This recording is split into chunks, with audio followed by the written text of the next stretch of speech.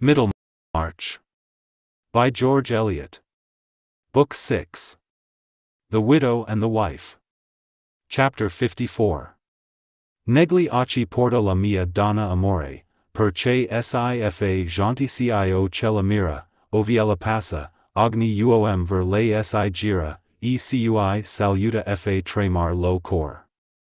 Sich, basando il viso, tutto smor, e diogni sua defetto allers aspira, fuggen dinanzi a lei superbia ed ira, aiutatemi, don, a far l'onor.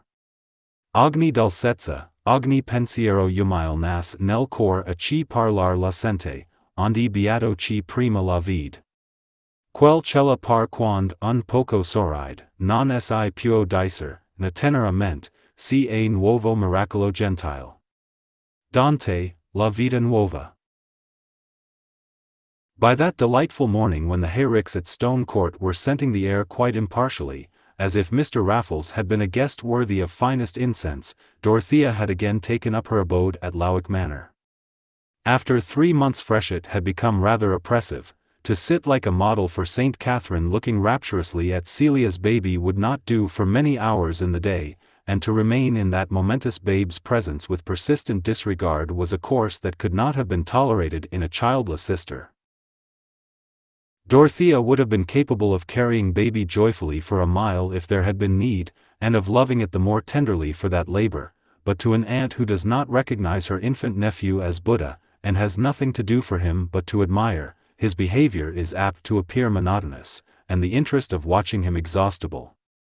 This possibility was quite hidden from Celia, who felt that Dorothea's childless widowhood fell in quite prettily with the birth of little Arthur, baby was named after Mr. Brooke. Dodo is just the creature not to mind about having anything of her own, children or anything, said Celia to her husband. And if she had had a baby, it never could have been such a dear as Arthur. Could it, James? Not if it had been like Casaubon, said Sir James, conscious of some indirectness in his answer, and of holding a strictly private opinion as to the perfections of his firstborn. No. Just imagine. Really it was a mercy, said Celia, and I think it is very nice for Dodo to be a widow. She can be just as fond of our baby as if it were her own, and she can have as many notions of her own as she likes. It is a pity she was not a queen, said the devout Sir James. But what should we have been then? We must have been something else, said Celia, objecting to so laborious a flight of imagination. I like her better as she is. Hence, when she found that Dorothea was making arrangements for her final departure to Lowick, Celia raised her eyebrows with disappointment, and in her quiet unemphatic way shot a needle arrow of sarcasm. What will you do at Lowick, Dodo? You say yourself there is nothing to be done there, everybody is so clean and well off, it makes you quite melancholy. And here you have been so happy going all about Tipton with Mr. Garth into the worst backyards. And now uncle is abroad, you and Mr. Garth can have it all your own way, and I am sure James does everything you tell him. I shall often come here, and I shall see how baby grows all the better, said Dorothea. But you will never see him washed, said Celia, and that is quite the best part of the day. She was almost pouting, it did seem to her very hard in Dodo to go away from the baby when she might stay. Dear Kitty, I will come and stay all night on purpose, said Dorothea, but I want to be alone now, and in my own home. I wish to know the Farebrothers better, and to talk to Mr. Farebrother about what there is to be done in Middlemarch. Dorothea's native strength of will was no longer all converted into resolute submission. She had a great yearning to be at Lowick, and was simply determined to go, not feeling bound to tell all her reasons. But every one around her disapproved. Sir James was much pained, and offered that they should all migrate to Cheltenham for a few months with the Sacred Ark, otherwise called a cradle. At that period a man could hardly know what to propose if Cheltenham were rejected. The Dowager Lady Chettam, just returned from a visit to her daughter in town, wished, at least, that Mrs. Vigo should be written to, and invited to accept the office of companion to Mrs. Casaubon it was not credible that Dorothea as a young widow would think of living alone in the house at Lowick. Mrs. Vigo had been reader and secretary to royal personages, and in point of knowledge and sentiments even Dorothea could have nothing to object to her. Mrs. Cadwallader said, privately, you will certainly go mad in that house alone, my dear. You will see visions. We have all got to exert ourselves a little to keep sane, and call things by the same names as other people call them by. To be sure, for younger sons and women who have no money, it is a sort of provision to go mad, they are taken care of then. But you must not run into that. I dare say you are a little bored here with our good dowager, but think what a bore you might become yourself to your fellow creatures if you were always playing tragedy queen and taking things sublimely. Sitting alone in that library at Lowick you may fancy yourself ruling the weather, you must get a few people round you who wouldn't believe you if you told them. That is a good lowering medicine. I never called everything by the same name that all the people about me did, said Dorothea, stoutly. But I suppose you have found out your mistake, my dear, said Mrs. Cadwallader, and that is a proof of sanity. Dorothea was aware of the sting, but it did not hurt her. No, she said, I still think that the greater part of the world is mistaken about many things. Surely one may be sane and yet think so, since the greater part of the world has often had to come round from its opinion. Mrs. Cadwallader said no more on that point to Dorothea, but to her husband she remarked, It will be well for her to marry again as soon as it is proper, if one could get her among the right people. Of course the Chettams would not wish it. But I see clearly a husband is the best thing to keep her in order. If we were not so poor I would invite Lord Triton. He will be Marquis some day, and there is no denying that she would make a good Marchioness, she looks handsomer than ever in her mourning. My dear Eleanor, do let the poor woman alone.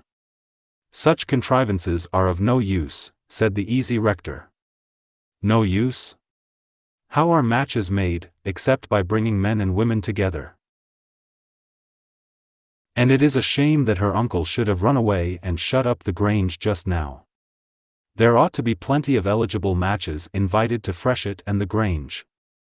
Lord Triton is precisely the man, full of plans for making the people happy in a soft-headed sort of way. That would just suit Mrs. Casaubon. Let Mrs. Casaubon choose for herself, Eleanor. That is the nonsense you wise men talk. How can she choose if she has no variety to choose from? A woman's choice usually means taking the only man she can get. Mark my words, Humphrey. If her friends don't exert themselves, there will be a worse business than the Casaubon business yet. For heaven's sake don't touch on that topic, Eleanor. It is a very sore point with Sir James. He would be deeply offended if you entered on it to him unnecessarily. I have never entered on it, said Mrs. Cadwallader, opening her hands. Celia told me all about the will at the beginning, without any asking of mine. Yes, yes, but they want the thing hushed up, and I understand that the young fellow is going out of the neighborhood. Mrs. Cadwallader said nothing, but gave her husband three significant nods, with a very sarcastic expression in her dark eyes. Dorothea quietly persisted in spite of remonstrance and persuasion. So by the end of June the shutters were all opened at Lowick Manor, and the morning gazed calmly into the library, shining on the rows of notebooks as it shines on the weary waste planted with huge stones, the mute memorial of a forgotten faith, and the evening laden with roses entered silently into the blue-green boudoir where Dorothea chose oftenest to sit. At first she walked into every room, questioning the 18 months of her married life, and carrying on her thoughts as if they were a speech to be heard by her husband. Then, she lingered in the library and could not be at rest till she had carefully ranged all the notebooks as she imagined that he would wish to see them, in orderly sequence. The pity which had been the restraining compelling motive in her life with him still clung about his image, even while she remonstrated with him in indignant thought and told him that he was unjust. One little act of hers may perhaps be smiled at as superstitious. The synoptical tabulation for the use of Mrs. Casaubon, she carefully enclosed and sealed, writing within the envelope, I could not use it. Do you not see now that I could not submit my soul to yours, by working hopelessly at what I have no belief in, Dorothea? Then she deposited the paper in her own desk. That silent colloquy was perhaps only the more earnest because underneath and through it all there was always the deep longing which had really determined her to come to Lowick. The longing was to see Will Ladislaw. She did not know any good that could come of their meeting, she was helpless, her hands had been tied from making up to him for any unfairness in his lot. But her soul thirsted to see him. How could it be otherwise? If a princess in the days of enchantment had seen a four-footed creature from among those which live in herds come to her once and again with a human gaze which rested upon her with choice and beseeching, what would she think of in her journeying, what would she look for when the herds passed her? Surely for the gaze which had found her, and which she would know again. Life would be no better than candlelight tinsel and daylight rubbish if our spirits were not touched by what has been, to issues of longing and constancy. It was true that Dorothea wanted to know the Farebrothers better, and especially to talk to the new rector, but also true that remembering what Lydgate had told her about Will Ladislaw and little Miss Noble, she counted on Will's coming to Lowick to see the Farebrother family. The very first Sunday, before she entered the church, she saw him as she had seen him the last time she was there, alone in the clergyman's pew, but when she entered his figure was gone. In the weekdays when she went to see the ladies at the rectory, she listened in vain for some word that they might let fall about Will, but it seemed to her that Mrs. Farebrother talked of every one else in the neighborhood and out of it. Probably some of Mr. Farebrother's Middlemarch hearers may follow him to Lowick sometimes. Do you not think so? said Dorothea, rather despising herself for having a secret motive in asking the question. If they are wise they will, Mrs. Casaubon, said the old lady. I see that you set a right value on my son's preaching. His grandfather on my side was an excellent clergyman, but his father was in the law, most exemplary and honest nevertheless, which is a reason for our never being rich. They say fortune is a woman and capricious. But sometimes she is a good woman and gives to those who merit, which has been the case with you, Mrs. Casaubon, who have given a living to my son. Mrs. Farebrother recurred to her knitting with a dignified satisfaction in her neat little effort at oratory, but this was not what Dorothea wanted to hear. Poor thing! She did not even know whether Will Ladislaw was still at Middlemarch, and there was no one whom she dared to ask, unless it were Lydgate. But just now she could not see Lydgate without sending for him or going to seek him. Perhaps Will Ladislaw, having heard of that strange ban against him left by Mr. Casaubon, had felt it better that he and she should not meet again, and perhaps she was wrong to wish for a meeting that others might find many good reasons against. Still, I do wish it, came at the end of those wise reflections as naturally as a sob after holding the breath. And the meeting did happen, but in a formal way quite unexpected by her. One morning, about eleven, Dorothea was seated in her boudoir with a map of the land attached to the manor and other papers before her, which were to help her in making an exact statement for herself of her income and affairs. She had not yet applied herself to her work, but was seated with her hands folded on her lap, looking out along the avenue of limes to the distant fields. Every leaf was at rest in the sunshine, the familiar scene was changeless, and seemed to represent the prospect of her life, full of motiveless ease, motiveless, if her own energy could not seek out reasons for ardent action. The widow's cap of those times made an oval frame for the face, and had a crown standing up, the dress was an experiment in the utmost laying on of crape, but this heavy solemnity of clothing made her face look all the younger, with its recovered bloom, and the sweet, inquiring candor of her eyes. Her reverie was broken by Tantripp, who came to say that Mr. Ladislaw was below, and begged permission to see Madam if it were not too early. I will see him, said Dorothea, rising immediately. Let him be shown into the drawing room. The drawing room was the most neutral room in the house to her, the one least associated with the trials of her married life, the damask matched the woodwork, which was all white and gold, there were two tall mirrors and tables with nothing on them, in brief, it was a room where you had no reason for sitting in one place rather than in another. It was below the boudoir, and had also a bow window looking out on the avenue.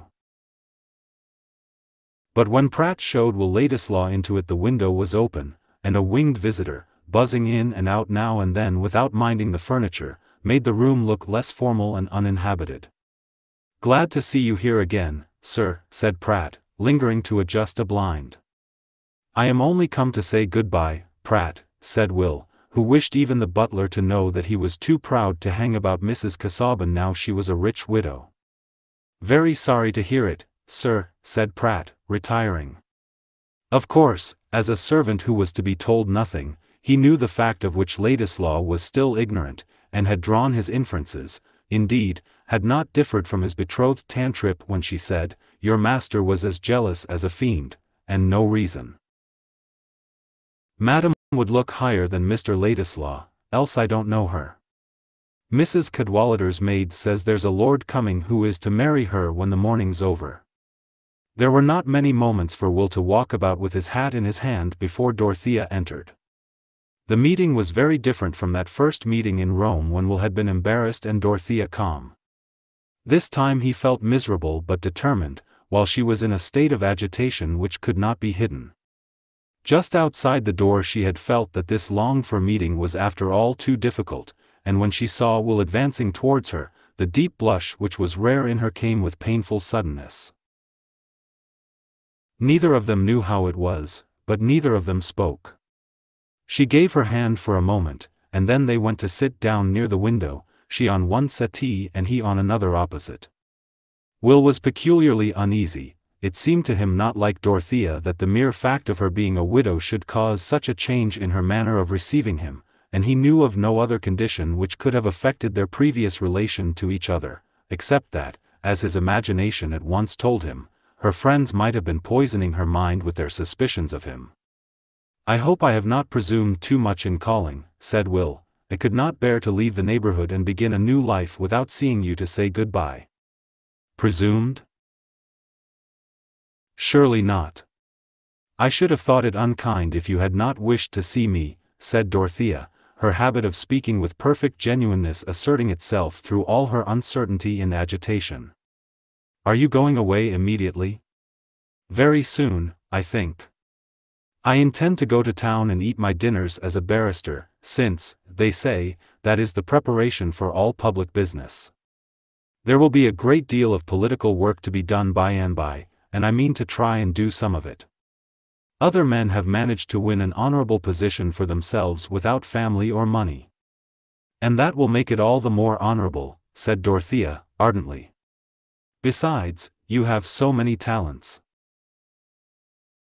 I have heard from my uncle how well you speak in public, so that every one is sorry when you leave off, and how clearly you can explain things.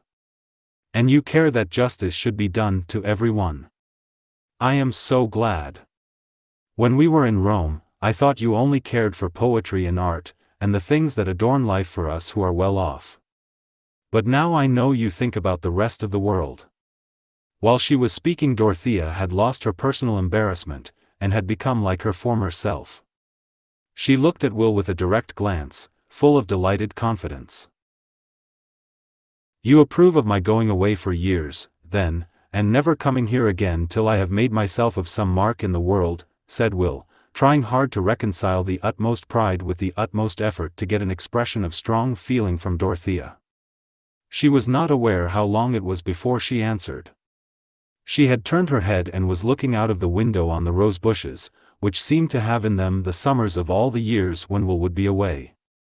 This was not judicious behavior. But Dorothea never thought of studying her manners, she thought only of bowing to a sad necessity which divided her from Will. Those first words of his about his intentions had seemed to make everything clear to her, he knew, she supposed, all about Mr. Casaubon's final conduct in relation to him, and it had come to him with the same sort of shock as to herself. He had never felt more than friendship for her, had never had anything in his mind to justify what she felt to be her husband's outrage on the feelings of both, and that friendship he still felt.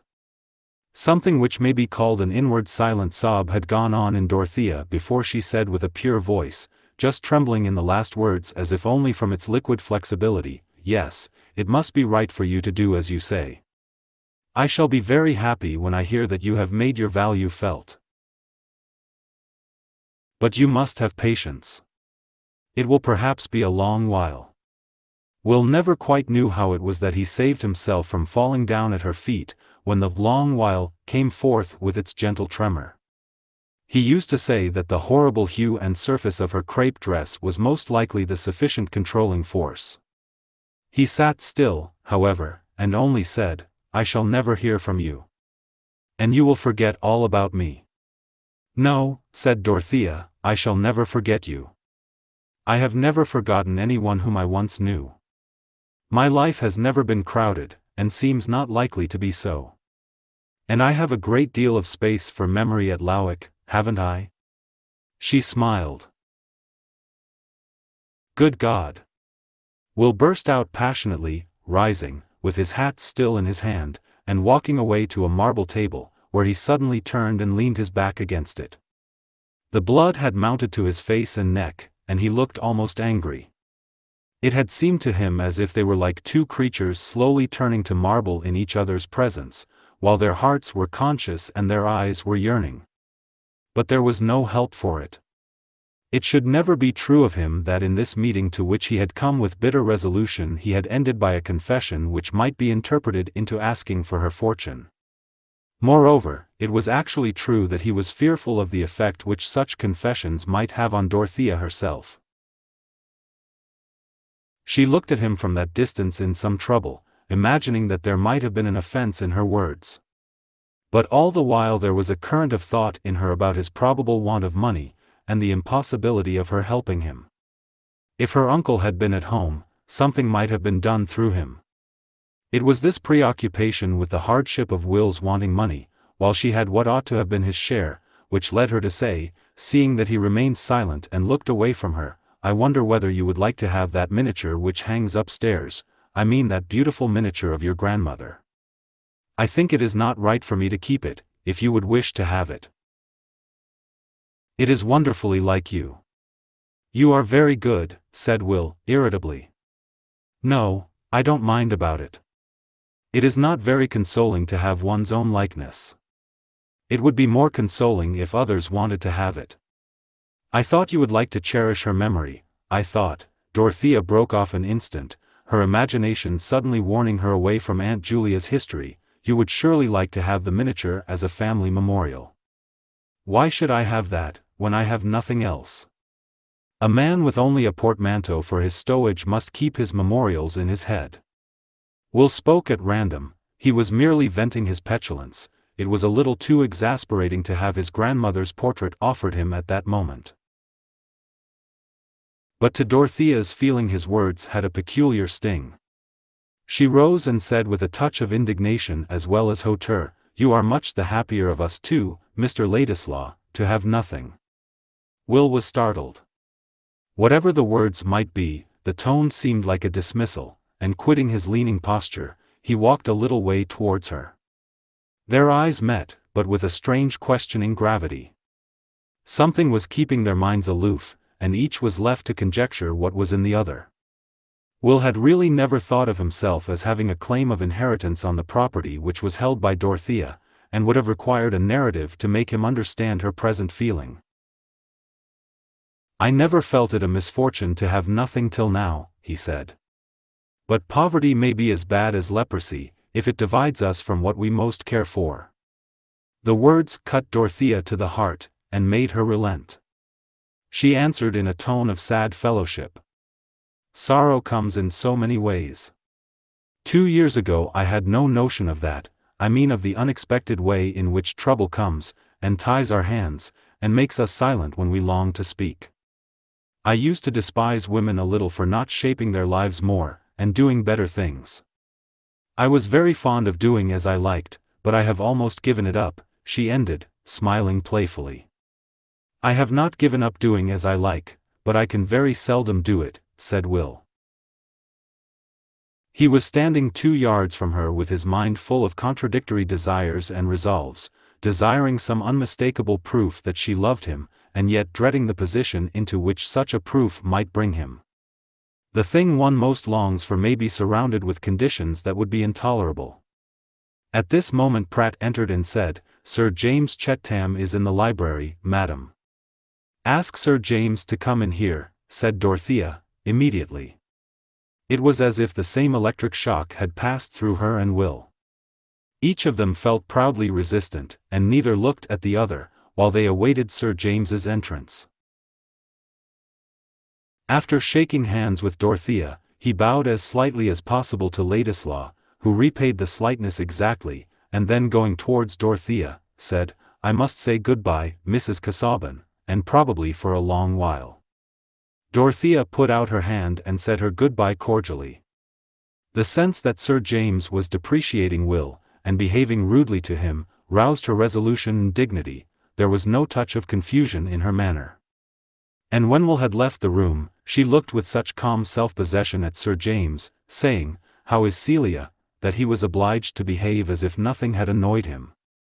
And what would be the use of behaving otherwise? Indeed, Sir James shrank with so much dislike from the association even in thought of Dorothea with Ladislaw as her possible lover, that he would himself have wished to avoid an outward show of displeasure which would have recognized the disagreeable possibility. If anyone had asked him why he shrank in that way, I am not sure that he would at first have said anything fuller or more precise than that Ladislaw. Though on reflection he might have urged that Mr. Casaubon's codicil, barring Dorothea's marriage with Will, except under a penalty, was enough to cast unfitness over any relation at all between them. His aversion was all the stronger because he felt himself unable to interfere. But Sir James was a power in a way unguessed by himself. Entering at that moment, he was an incorporation of the strongest reasons through which Will's pride became a repellent force, keeping him asunder from Dorothea. Chapter 55 Hath she her faults? I would you had them too.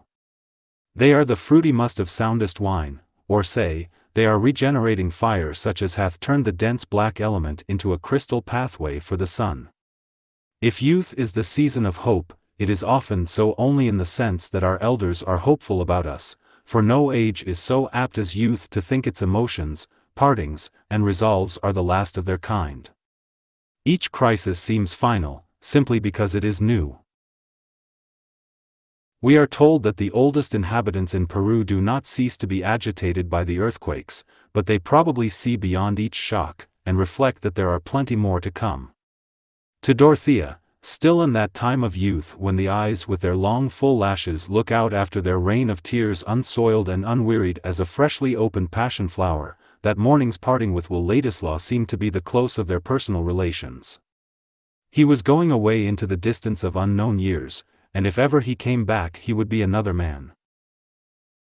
The actual state of his mind, his proud resolve to give the lie beforehand to any suspicion that he would play the needy adventurer seeking a rich woman, lay quite out of her imagination, and she had interpreted all his behavior easily enough by her supposition that Mr. Casaubon's codicil seemed to him, as it did to her, a gross and cruel interdict on any active friendship between them. Their young delight in speaking to each other, and saying what no one else would care to hear, was forever ended, and become a treasure of the past. For this very reason she dwelt on it without inward check. That unique happiness too was dead, and in its shadowed silent chamber she might vent the passionate grief which she herself wondered at. For the first time she took down the miniature from the wall and kept it before her, liking to blend the woman who had been too hardly judged with the grandson whom her own heart and judgment defended. Can anyone who has rejoiced in woman's tenderness think it a reproach to her that she took the little oval picture in her palm and made a bed for it there, and leaned her cheek upon it, as if that would soothe the creatures who had suffered unjust condemnation? She did not know then that it was love who had come to her briefly, as in a dream before awaking, with the hues of morning on his wings, that it was love to whom she was sobbing her farewell as his image was banished by the blameless rigor of irresistible day. She only felt that there was something irrevocably amiss and lost in her lot, and her thoughts about the future were the more readily shapen into resolve. Ardent souls, ready to construct their coming lives, are apt to commit themselves to the fulfillment of their own visions. One day that she went to Freshitt to fulfill her promise of staying all night and seeing baby washed, Mrs. Cadwallader came to dine, the rector being gone on a fishing excursion. It was a warm evening, and even in the delightful drawing room, where the fine old turf sloped from the open window towards a lilied pool and well-planted mounds, the heat was enough to make Celia in her white muslin and light curls reflect with pity on what Dodo must feel in her black dress and close cap. But this was not until some episodes with baby were over, and had left her mind at leisure. She had seated herself and taken up a fan for some time before she said, in her quiet guttural, Dear Dodo, do throw off that cap. I am sure your dress must make you feel ill. I am so used to the cap, it has become a sort of shell, said Dorothea, smiling. I feel rather bare and exposed when it is off. I must see you without it, it makes us all warm, said Celia, throwing down her fan, and going to Dorothea. It was a pretty picture to see this little lady in white muslin unfastening the widow's cap from her more majestic sister, and tossing it on to a chair. Just as the coils and braids of dark brown hair had been set free, Sir James entered the room. He looked at the released head, and said, Ah, in a tone of satisfaction. It was I who did it, James, said Celia. Dodo need not make such a slavery of her mourning, she need not wear that cap any more among her friends. My dear Celia, said Lady Chettam, a widow must wear her mourning at least a year. Not if she marries again before the end of it, said Mrs. Cadwallader, who had some pleasure in startling her good friend the Dowager. Sir James was annoyed, and leaned forward to play with Celia's Maltese dog. That is very rare, I hope, said Lady Chettam, in a tone intended to guard against such events. No friend of ours ever committed herself in that way except Mrs. Beevor, and it was very painful to Lord Grinsell when she did so. Her first husband was objectionable, which made it the greater wonder. And severely she was punished for it. They said Captain Beevor dragged her about by the hair, and held up loaded pistols at her. Oh, if she took the wrong man, said Mrs. Cadwallader, who was in a decidedly wicked mood.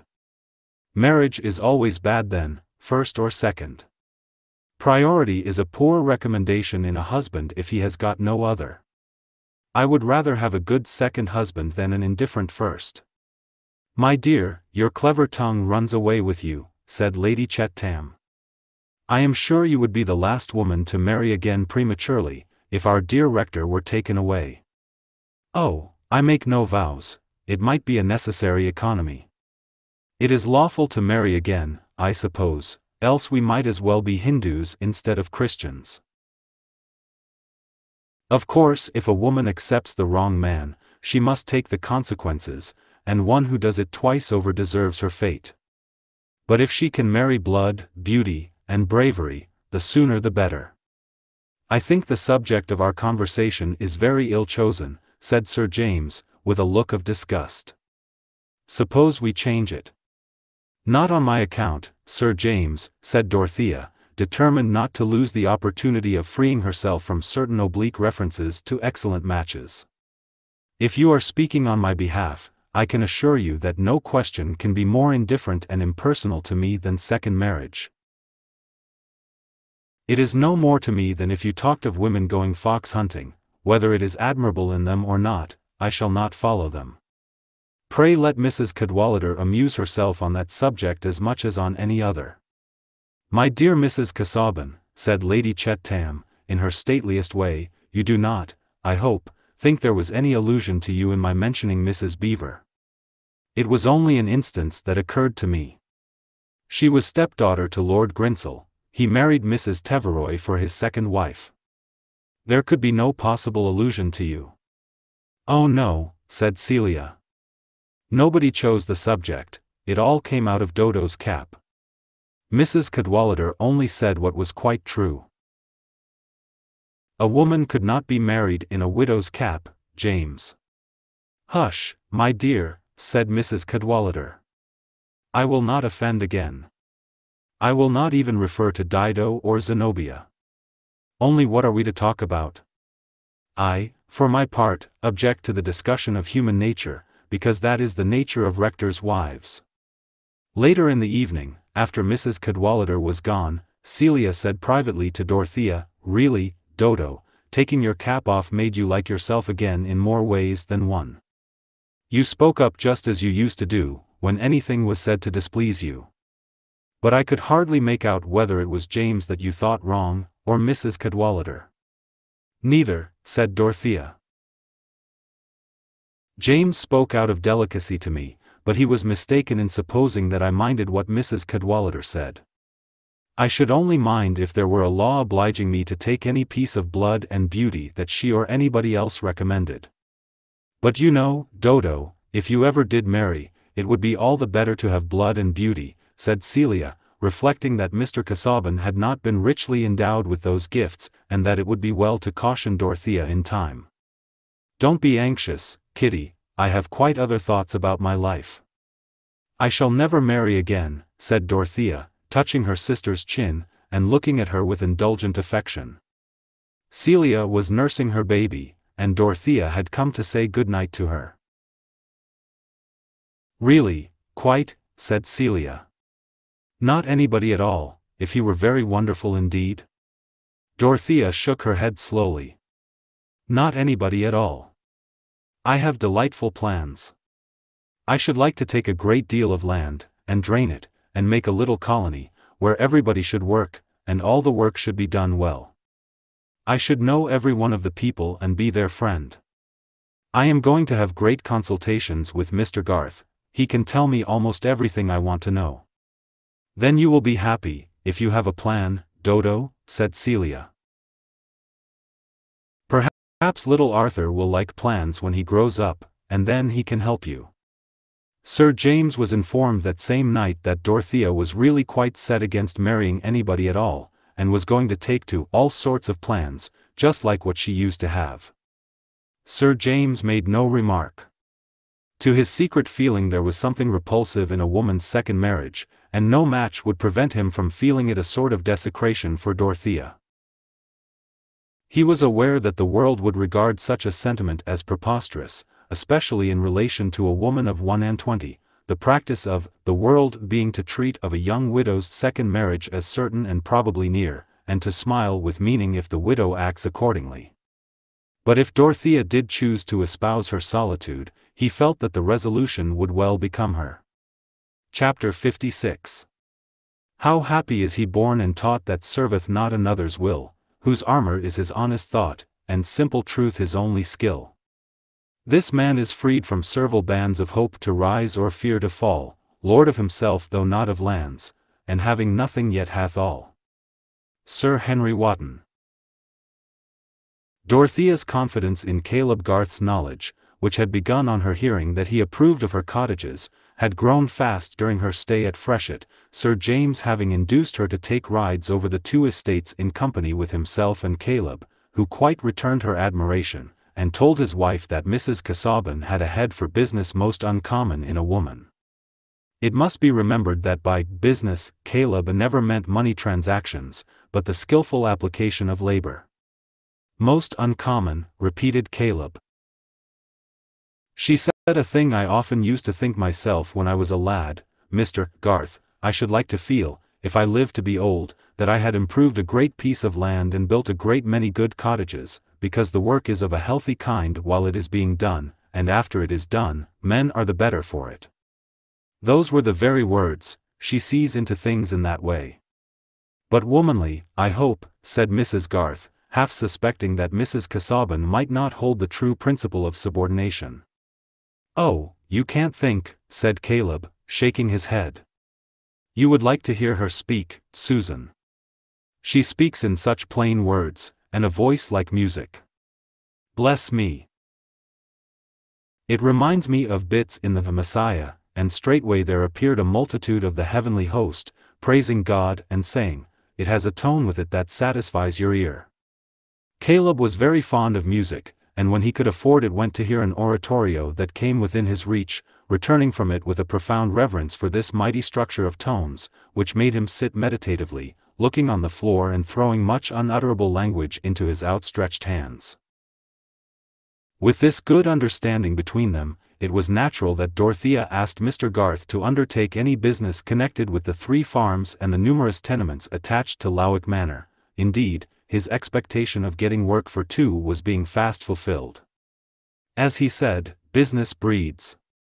And one form of business which was beginning to breed just then was the construction of railways. A projected line was to run through Lowick parish where the cattle had hitherto grazed in a peace unbroken by astonishment, and thus it happened that the infant struggles of the railway system entered into the affairs of Caleb Garth, and determined the course of this history with regard to two persons who were dear to him. The submarine railway may have its difficulties, but the bed of the sea is not divided among various landed proprietors with claims for damages not only measurable but sentimental. In the hundred to which Middlemarch belonged railways were as exciting a topic as the Reform Bill or the imminent horrors of cholera, and those who held the most decided views on the subject were women and landholders.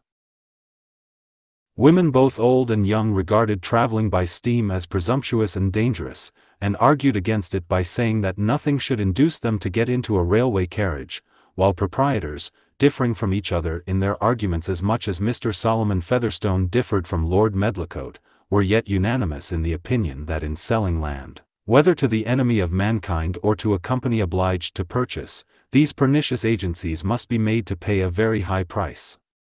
To landowners for permission to injure mankind. But the slower wits, such as Mr. Solomon and Mrs. Waule, who both occupied land of their own, took a long time to arrive at this conclusion, their minds halting at the vivid conception of what it would be to cut the big pasture in two, and turn it into three-cornered bits, which would be know-how, while accommodation bridges and high payments were remote and incredible. The cows will all cast their calves, brother, said Mrs. Waule, in a tone of deep melancholy, if the railway comes across the near close, and I shouldn't wonder at the mare too, if she was in full. It's a poor tale if a widow's property is to be spaded away, and the law say nothing to it. What's to hinder em from cutting right and left if they begin? It's well known, I can't fight. The best way would be to say nothing, and set somebody on to send em away with a flea in their ear, when they came spying and measuring, said Solomon. Folks did that about Brassing, by what I can understand. It's all a pretense, if the truth was known, about their being forced to take one way. Let M go cutting in another parish. And I don't believe in any pay to make amends for bringing a lot of ruffians to trample your crops. Where's a company's pocket? Brother Peter, God forgive him, got money out of a company, said Mrs. Waule. But that was for the manganese. That wasn't for railways to blow you to pieces right and left. Well, there's this to be said, Jane, Mr. Solomon concluded, lowering his voice in a cautious manner, the more spokes we put in their wheel, the more they'll pay us to let em go on, if they must come whether or not. This reasoning of Mr. Solomon's was perhaps less thorough than he imagined, his cunning bearing about the same relation to the course of railways as the cunning of a diplomatist bears to the general chill or catarrh of the solar system. But he set about acting on his views in a thoroughly diplomatic manner, by stimulating suspicion. His side of Lowick was the most remote from the village, and the houses of the laboring people were either lone cottages or were collected in a hamlet called Frick, where a watermill and some stone pits made a little center of slow, heavy-shouldered industry.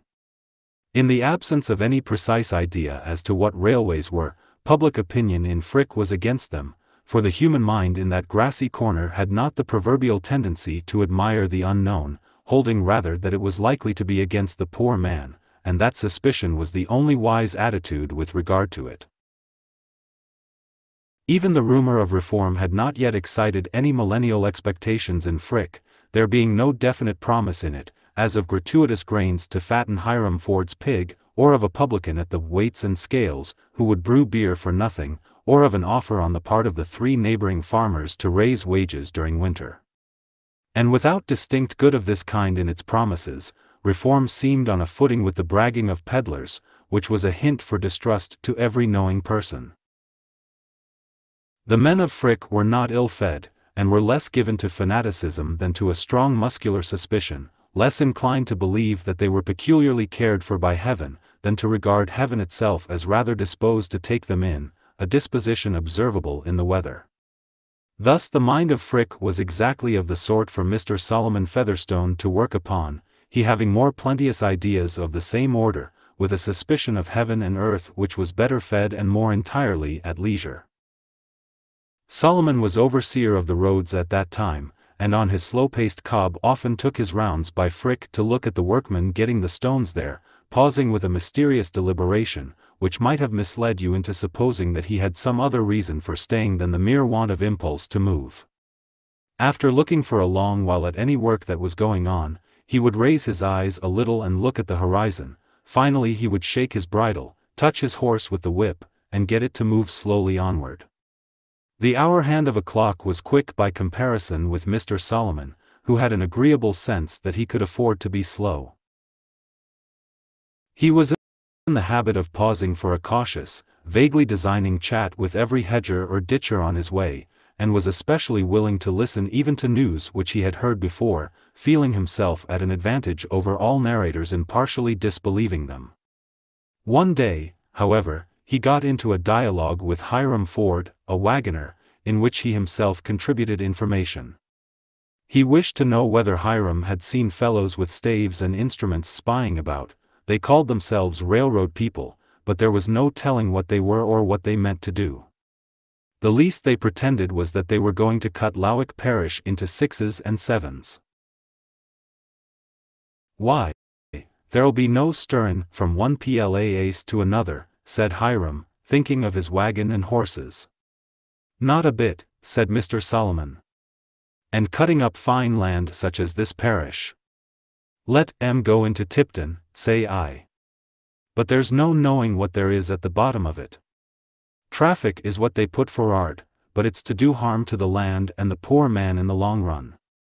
Why, they're Lunnon chaps, I reckon, said Hiram, who had a dim notion of London as a centre of hostility to the country. Ay, to be sure.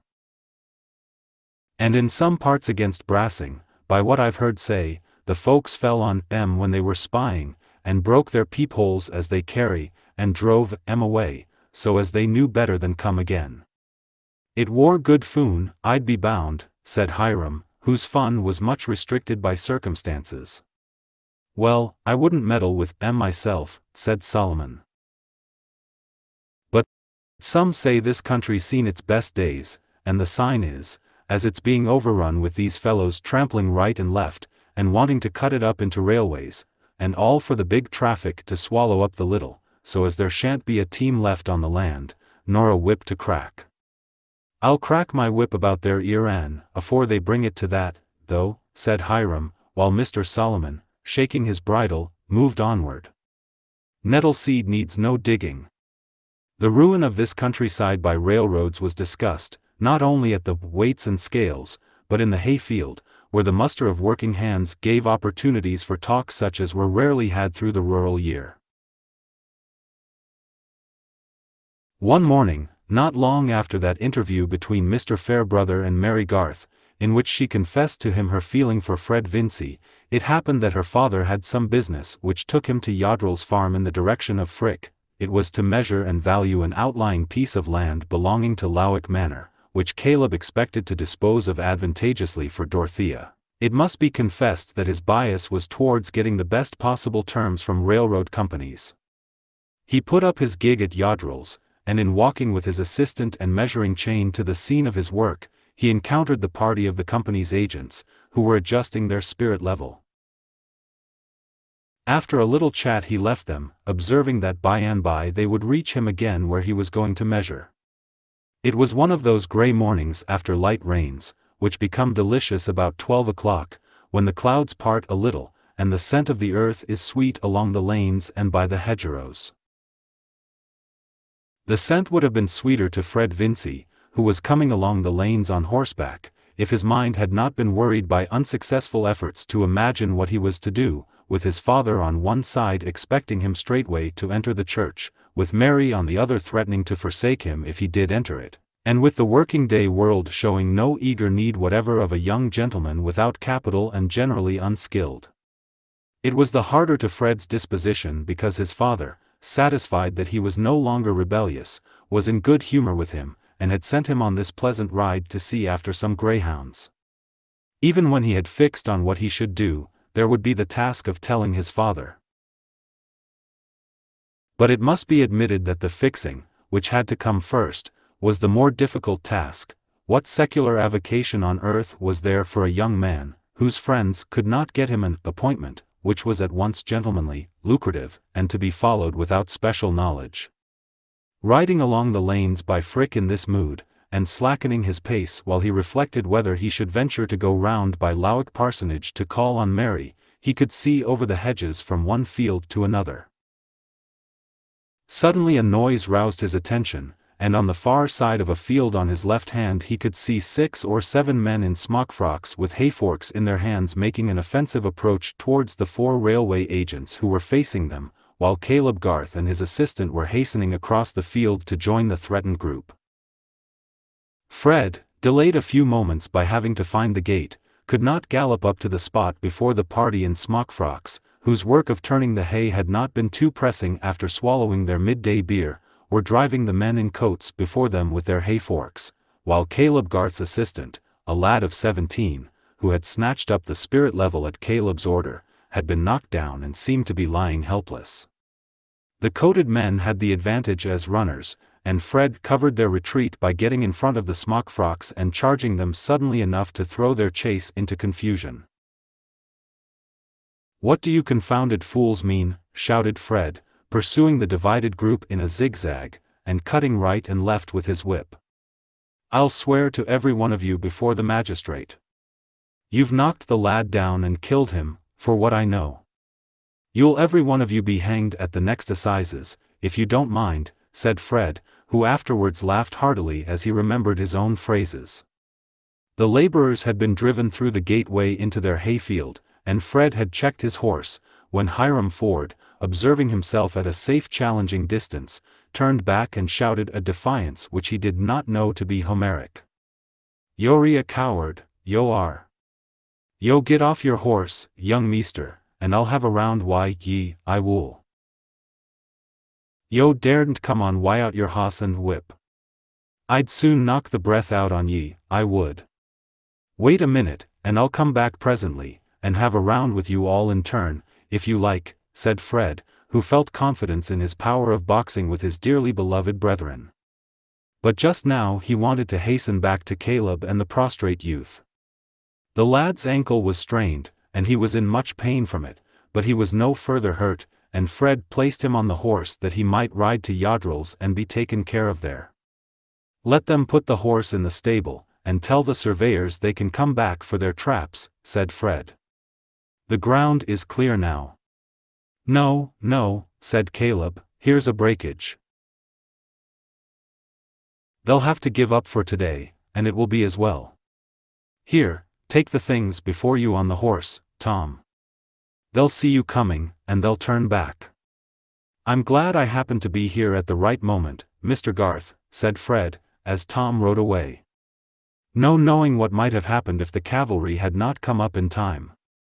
Aye, aye, it was lucky, said Caleb, speaking rather absently, and looking towards the spot where he had been at work at the moment of interruption. But, deuce take it, this is what comes of men being fools, I'm hindered of my day's work. I can't get along without somebody to help me with the measuring chain.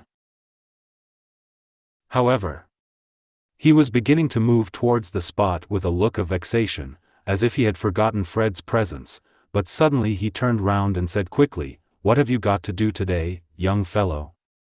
Nothing, Mr. Garth. I'll help you with pleasure, can I? said Fred, with a sense that he should be courting Mary when he was helping her father. Well, you mustn't mind stooping and getting hot. I don't mind anything. Only I want to go first and have a round with that hulky fellow who turned to challenge me. It would be a good lesson for him. I shall not be five minutes. Nonsense, said Caleb, with his most peremptory intonation. I shall go and speak to the men myself. It's all ignorance. Somebody has been telling them lies. The poor fools don't know any better. I shall go with you, then, said Fred. No, no, stay where you are. I don't want your young blood. I can take care of myself. Caleb was a powerful man and knew little of any fear except the fear of hurting others and the fear of having to speechify. But he felt it his duty at this moment to try and give a little harangue. There was a striking mixture in him, which came from his having always been a hard-working man himself, of rigorous notions about workmen and practical indulgence towards them. To do a good day's work and to do it well, he held to be part of their welfare, as it was the chief part of his own happiness, but he had a strong sense of fellowship with them. When he advanced towards the laborers they had not gone to work again, but were standing in that form of rural grouping which consists in each turning a shoulder towards the other, at a distance of two or three yards. They looked rather sulkily at Caleb, who walked quickly with one hand in his pocket and the other thrust between the buttons of his waistcoat, and had his everyday mild air when he paused among them. Why, my lads, how's this? he began, taking as usual to brief phrases, which seemed pregnant to himself, because he had many thoughts lying under them, like the abundant roots of a plant that just manages to peep above the water. How came you to make such a mistake as this? Somebody has been telling you lies. You thought those men up there wanted to do mischief. Ah, was the answer, dropped at intervals by each according to his degree of unreadiness. Nonsense. No such thing. They're looking out to see which way the railroad is to take. Now, my lads, you can't hinder the railroad, it will be made whether you like it or not. And if you go fighting against it, you'll get yourselves into trouble. The law gives those men leave to come here on the land. The owner has nothing to say against it, and if you meddle with them you'll have to do with the constable and Justice Blakesley, and with the handcuffs and Middlemarch jail. And you might be in for it now, if anybody informed against you. Caleb paused here, and perhaps the greatest orator could not have chosen either his pause or his images better for the occasion. But come, you didn't mean any harm. Somebody told you the railroad was a bad thing. That was a lie. It may do a bit of harm here and there, to this and to that, and so does the sun in heaven. But the railway's a good thing. Ah. Good for the big folks to make money out on, said old Timothy Cooper, who had stayed behind turning his hay while the others had been gone on their spree. I ain't seen lots o' things turn up sin, I wore a young un, the Warren, the Peace, and the Connells, and the old King George, and the Regan, and the new King George, and the new un as has got a new any aim, and it's been all aloik to the poor mon. What's the Connells been tea him? They en brought him neither meat nor beacon, nor wage to lay by, if he didn't save it why, clem his own inside. Times ha got wusser for him sin, I wore a young un. And, so it'll be why, the railroads. They'll ony leave the poor mon furder behind. But them are fools as metal, and so I told the chaps here. This is the big folks' world, this is. But yo re for the big folks, Muster Garth, yo are. Timothy was a wiry old laborer, of a type lingering in those times, who had his savings in a stocking foot, lived in a lone cottage, and was not to be wrought on by any oratory, having as little of the feudal spirit, and believing as little, as if he had not been totally unacquainted with the age of reason and the rights of man. Caleb was in a difficulty known to any person attempting in dark times and unassisted by miracle to reason with rustics who are in possession of an undeniable truth which they know through a hard process of feeling, and can let it fall like a giant's club on your neatly carved argument for a social benefit which they do not feel. Caleb had no cant at command, even if he could have chosen to use it, and he had been accustomed to meet all such difficulties in no other way than by doing his business faithfully. He answered, if you don't think well of me, Tim, never mind, that's neither here nor there now. Things may be bad for the poor man, bad they are, but I want the lads here not to do what will make things worse for themselves. The cattle may have a heavy load, but it won't help them to throw it over into the roadside pit, when it's partly their own fodder. We wore Ani for a bit oh, Foon, said Hiram, who was beginning to see consequences. That war all we wore arter. Well, promise me not to meddle again, and I'll see that nobody informs against you. I in ne'er meddled, an I in no call to promise, said Timothy. No, but the rest. Come, I'm as hard at work as any of you today, and I can't spare much time. Say you'll be quiet without the constable. Ah, we won't meddle, they may do as they loik for us, were the forms in which Caleb got his pledges, and then he hastened back to Fred, who had followed him, and watched him in the gateway. They went to work, and Fred helped vigorously. His spirits had risen, and he heartily enjoyed a good slip in the moist earth under the hedgerow, which soiled his perfect summer trousers. Was it his successful onset which had elated him, or the satisfaction of helping Mary's father? Something more. The accidents of the morning had helped his frustrated imagination to shape an employment for himself which had several attractions. I am not sure that certain fibers in Mr. Garth's mind had not resumed their old vibration towards the very end which now revealed itself to Fred. For the effective accident is but the touch of fire where there is oil and tow, and it always appeared to Fred that the railway brought the needed touch. But they went on in silence except when their business demanded speech. At last, when they had finished and were walking away, Mr. Garth said, A young fellow needn't be A B, A, to do this sort of work, Fred? I wish I had taken to it before I had thought of being A B, said Fred. He paused a moment, and then added, more hesitatingly, do you think I am too old to learn your business, Mr. Garth? My business is of many sorts, my boy, said Mr. Garth, smiling. A good deal of what I know can only come from experience, you can't learn it off as you learn things out of a book. But you are young enough to lay a foundation yet. Caleb pronounced the last sentence emphatically, but paused in some uncertainty. He had been under the impression lately that Fred had made up his mind to enter the church. You do think I could do some good at it, if I were to try? said Fred, more eagerly. That depends, said Caleb, turning his head on one side and lowering his voice, with the air of a man who felt himself to be saying something deeply religious. You must be sure of two things you must love your work, and not be always looking over the edge of it, wanting your play to begin. And the other is, you must not be ashamed of your work, and think it would be more honorable to you to be doing something else. You must have a pride in your own work and in learning to do it well, and not be always saying, there's this and there's that, if I had this or that to do, I might make something of it. No matter what a man is, I wouldn't give tuppence for him, here Caleb's mouth looked bitter, and he snapped his fingers, whether he was the Prime Minister or the Rick Thatcher, if he didn't do well what he undertook to do. I can never feel that I should do that in being a clergyman, said Fred, meaning to take a step in argument.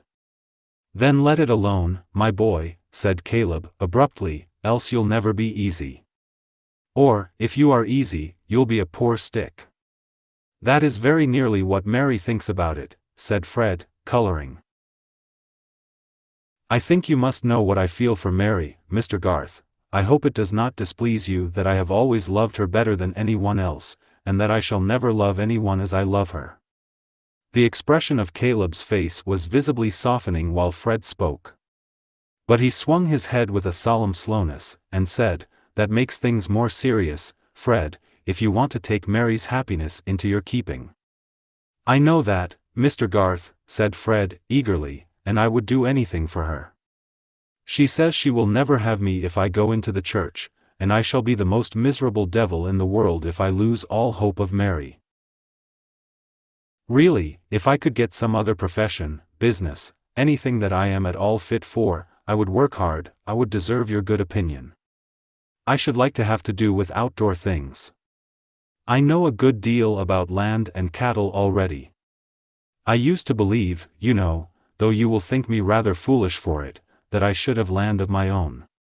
I am sure knowledge of that sort would come easily to me, especially if I could be under you in any way. Softly, my boy, said Caleb, having the image of Susan before his eyes. What have you said to your father about all this? Nothing, yet, but I must tell him. I am only waiting to know what I can do instead of entering the church. I am very sorry to disappoint him, but a man ought to be allowed to judge for himself when he is four and twenty. How could I know when I was fifteen, what it would be right for me to do now? My education was a mistake. But hearken to this, Fred, said Caleb. Are you sure Mary is fond of you, or would ever have you? I asked Mr. Farebrother to talk to her, because she had forbidden me, I didn't know what else to do, said Fred, apologetically. And he says that I have every reason to hope, if I can put myself in an honorable position, I mean, out of the church. I dare say you think it unwarrantable in me, Mr. Garth, to be troubling you and obtruding my own wishes about Mary, before I have done anything at all for myself. Of course I have not the least claim, indeed, I have already a debt to you which will never be discharged, even when I have been able to pay it in the shape of money. Yes, my boy, you have a claim, said Caleb, with much feeling in his voice. The young ones have always a claim on the old to help them forward. I was young myself once and had to do without much help, but help would have been welcome to me, if it had been only for the fellow feeling's sake. But I must consider. Come to me tomorrow at the office, at nine o'clock. At the office, mind. Mr. Garth would take no important step without consulting Susan, but it must be confessed that before he reached home he had taken his resolution. With regard to a large number of matters about which other men are decided or obstinate, he was the most easily manageable man in the world. He never knew what meat he would choose, and if Susan had said that they ought to live in a four-roomed cottage, in order to save, he would have said, let us go, without inquiring into details.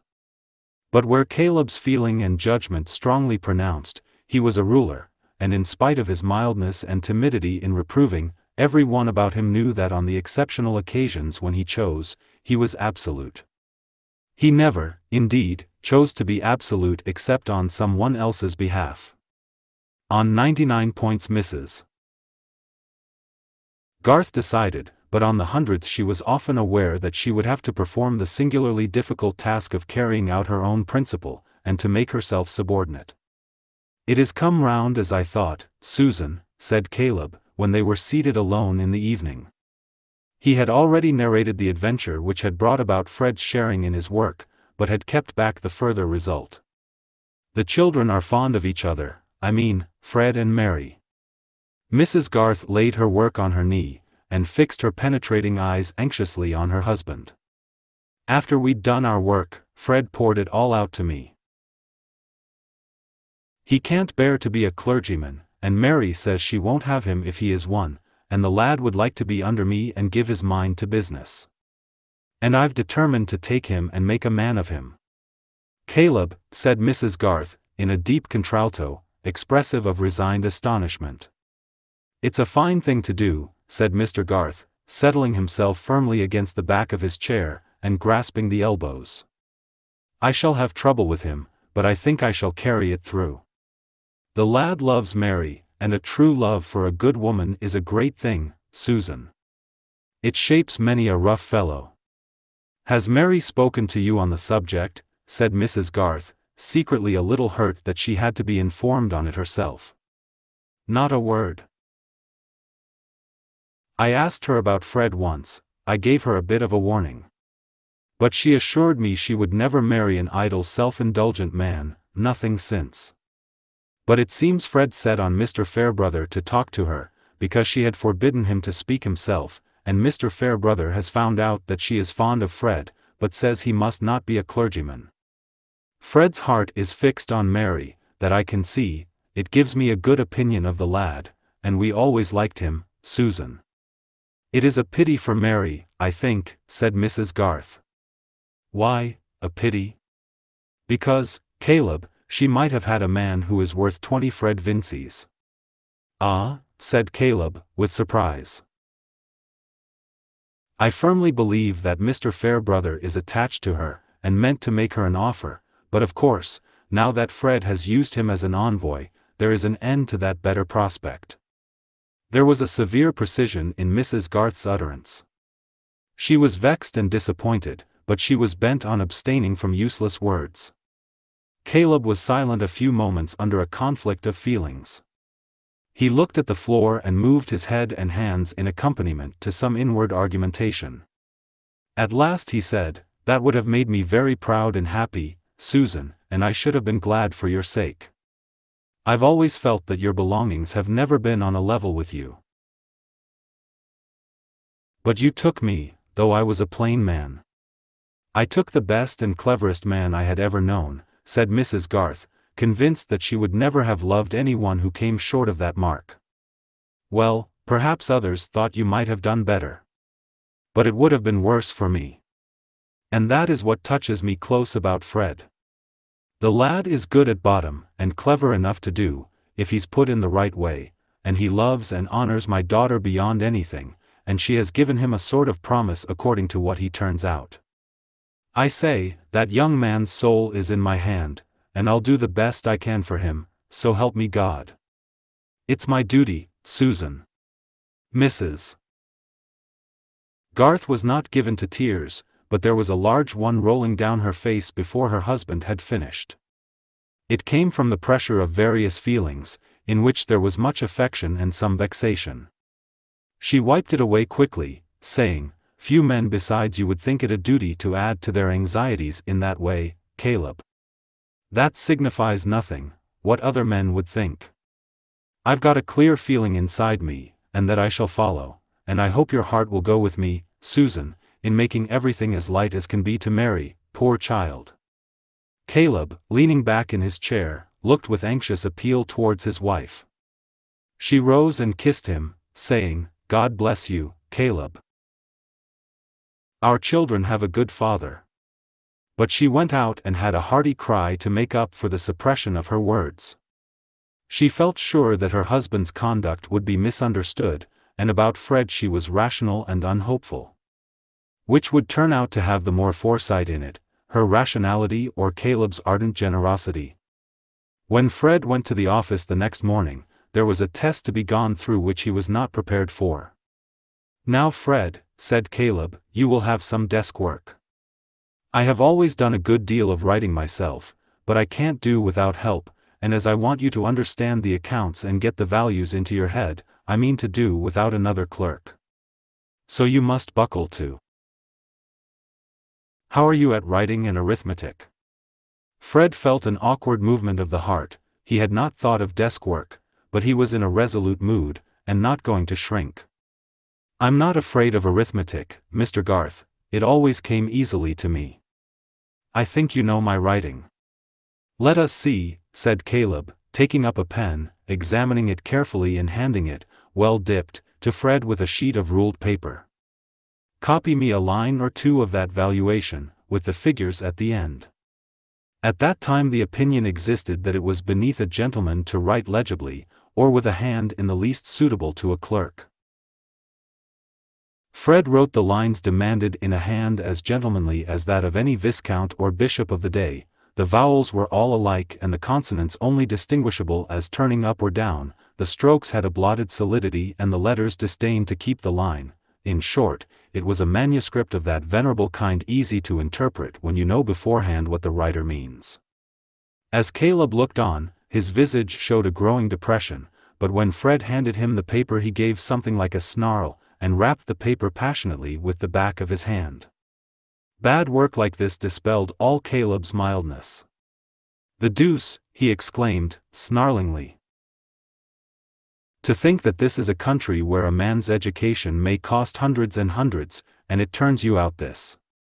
Then in a more pathetic tone, pushing up his spectacles and looking at the unfortunate scribe, the Lord have mercy on us, Fred, I can't put up with this. What can I do, Mr. Garth, said Fred, whose spirits had sunk very low, not only at the estimate of his handwriting, but at the vision of himself as liable to be ranked with office clerks. Do?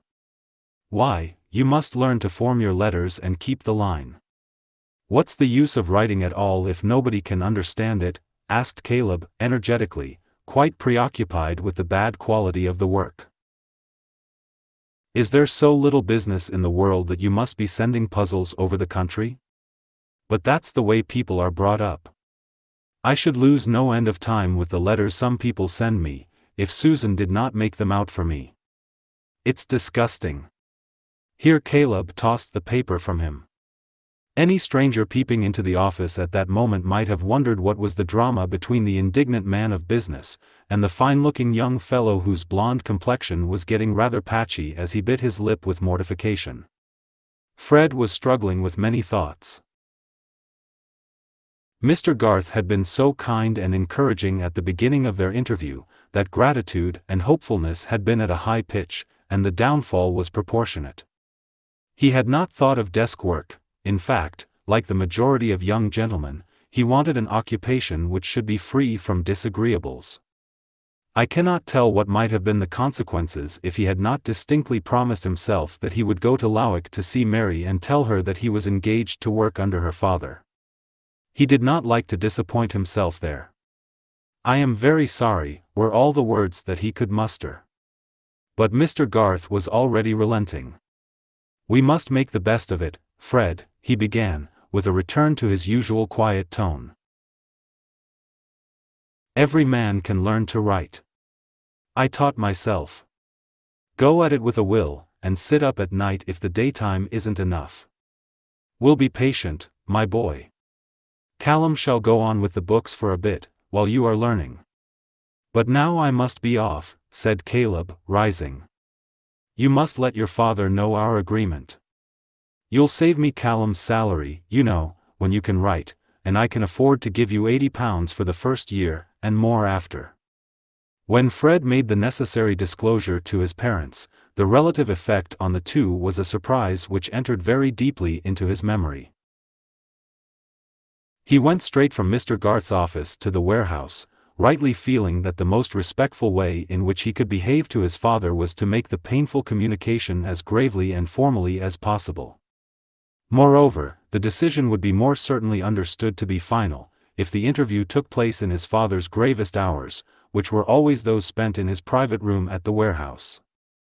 Fred entered on the subject directly, and declared briefly what he had done and was resolved to do, expressing at the end his regret that he should be the cause of disappointment to his father, and taking the blame on his own deficiencies.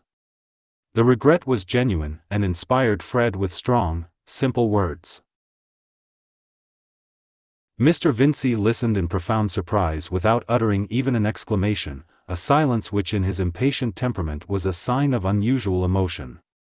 He had not been in good spirits about trade that morning, and the slight bitterness in his lips grew intense as he listened. When Fred had ended, there was a pause of nearly a minute, during which Mr. Vincy replaced a book in his desk and turned the key emphatically. Then he looked at his son steadily, and said, so you've made up your mind at last, sir? Yes, father. Very well, stick to it. I've no more to say. You've thrown away your education, and gone down a step in life, when I had given you the means of rising, that's all. I am very sorry that we differ, father. I think I can be quite as much of a gentleman at the work I have undertaken, as if I had been a curate. But I am grateful to you for wishing to do the best for me. Very well, I have no more to say. I wash my hands of you. I only hope, when you have a son of your own, he will make a better return for the pains you spend on him. This was very cutting to Fred. His father was using that unfair advantage possessed by us all when we are in a pathetic situation and see our own past as if it were simply part of the pathos. In reality, Mr. Vincy's wishes about his son had had a great deal of pride, inconsiderateness, and egoistic folly in them. But still the disappointed father held a strong lever, and Fred felt as if he were being banished with a malediction. I hope you will not object to my remaining at home, sir, he said, after rising to go, I shall have a sufficient salary to pay for my board, as of course I should wish to do. Board be hanged, said Mr. Vincy, recovering himself in his disgust at the notion that Fred's keep would be missed at his table. Of course your mother will want you to stay. But I shall keep no horse for you, you understand, and you will pay your own tailor. You will do with a suit or two less, I fancy, when you have to pay for them. Fred lingered, there was still something to be said. At last it came. I hope you will shake hands with me, father, and forgive me the vexation I have caused you. Mr. Vincy from his chair threw a quick glance upward at his son, who had advanced near to him, and then gave his hand, saying hurriedly, Yes, yes, let us say no more. Fred went through much more narrative and explanation with his mother, but she was inconsolable, having before her eyes what perhaps her husband had never thought of, the certainty that Fred would marry Mary Garth, that her life would henceforth be spoiled by a perpetual infusion of Garths and their ways, and that her darling boy, with his beautiful face and stylish air, beyond anybody else's son in Middlemarch, would be sure to get like that family in plainness of appearance and carelessness about his clothes. To her it seemed that there was a Garth conspiracy to get possession of the desirable Fred, but she dared not enlarge on this opinion, because a slight hint of it had made him fly out at her as he had never done before. Her temper was too sweet for her to show any anger, but she felt that her happiness had received a bruise, and for several days merely to look at Fred made her cry a little as if he were the subject of some baleful prophecy. Perhaps she was the slower to recover her usual cheerfulness because Fred had warned her that she must not reopen the sore question with his father, who had accepted his decision and forgiven him. If her husband had been vehement against Fred, she would have been urged into defense of her darling. It was the end of the fourth day when Mr. Vincy said to her, Come, Lucy, my dear, don't be so downhearted. You always have spoiled the boy, and you must go on spoiling him. Nothing ever did cut me so before, Vincy, said the wife, her fair throat and chin beginning to tremble again, only his illness. Pooh, pooh, never mind. We must expect to have trouble with our children. Don't make it worse by letting me see you out of spirits. Well, I won't, said Mrs. Vincy, roused by this appeal and adjusting herself with a little shake as of a bird which lays down its ruffled plumage. It won't do to begin making a fuss about one, said Mr. Vincy, wishing to combine a little grumbling with domestic cheerfulness. There's Rosamond as well as Fred. Yes, poor thing. I'm sure I felt for her being disappointed of her baby, but she got over it nicely. Baby, pooh. I can see Lydgate is making a mess of his practice, and getting into debt too, by what I hear. I shall have Rosamond coming to me with a pretty tale one of these days. But they'll get no money from me, I know. Let his family help him. I never did like that marriage. But it's no use talking. Ring the bell for lemons, and don't look dull any more, Lucy. I'll drive you and Louisa to Riverston tomorrow. Chapter 57 they numbered scarce eight summers when a name rose on their souls and stirred such motions there as thrill the buds and shape their hidden frame at penetration of the quickening air, his name who told of loyal Evan Dhu, of quaint Bradwardine, and Vich Ian Vohr, making the little world their childhood knew large with a land of mountain lake and score, and larger yet with wonder, love, belief toward Walter Scott who living far away sent them this wealth of joy and noble grief. The book and they must part, but day by day, in lines that thwart like portly spiders ran they wrote the tale, from Tully Veolan. The evening that Fred Vincy walked to Lowick Parsonage, he had begun to see that this was a world in which even a spirited young man must sometimes walk for want of a horse to carry him. He set out at five o'clock and called on Mrs. Garth by the way, wishing to assure himself that she accepted their new relations willingly. He found the family group, dogs and cats included, under the great apple tree in the orchard. It was a festival with Mrs. Garth, for her eldest son, Christy, her peculiar joy and pride, had come home for a short holiday, Christy, who held it the most desirable thing in the world to be a tutor, to study all literatures and be a regenerate parson, and who was an incorporate criticism on poor Fred, a sort of object lesson given to him by the educational mother. Christy himself, a square-browed, broad-shouldered masculine edition of his mother not much higher than Fred's shoulder, which made it the harder that he should be held superior, was always as simple as possible, and thought no more of Fred's disinclination to scholarship than of a giraffe's, wishing that he himself were more of the same height. He was lying on the ground now by his mother's chair, with his straw hat laid flat over his eyes, while Jim on the other side was reading aloud from that beloved writer who has made a chief part in the happiness of many young lives.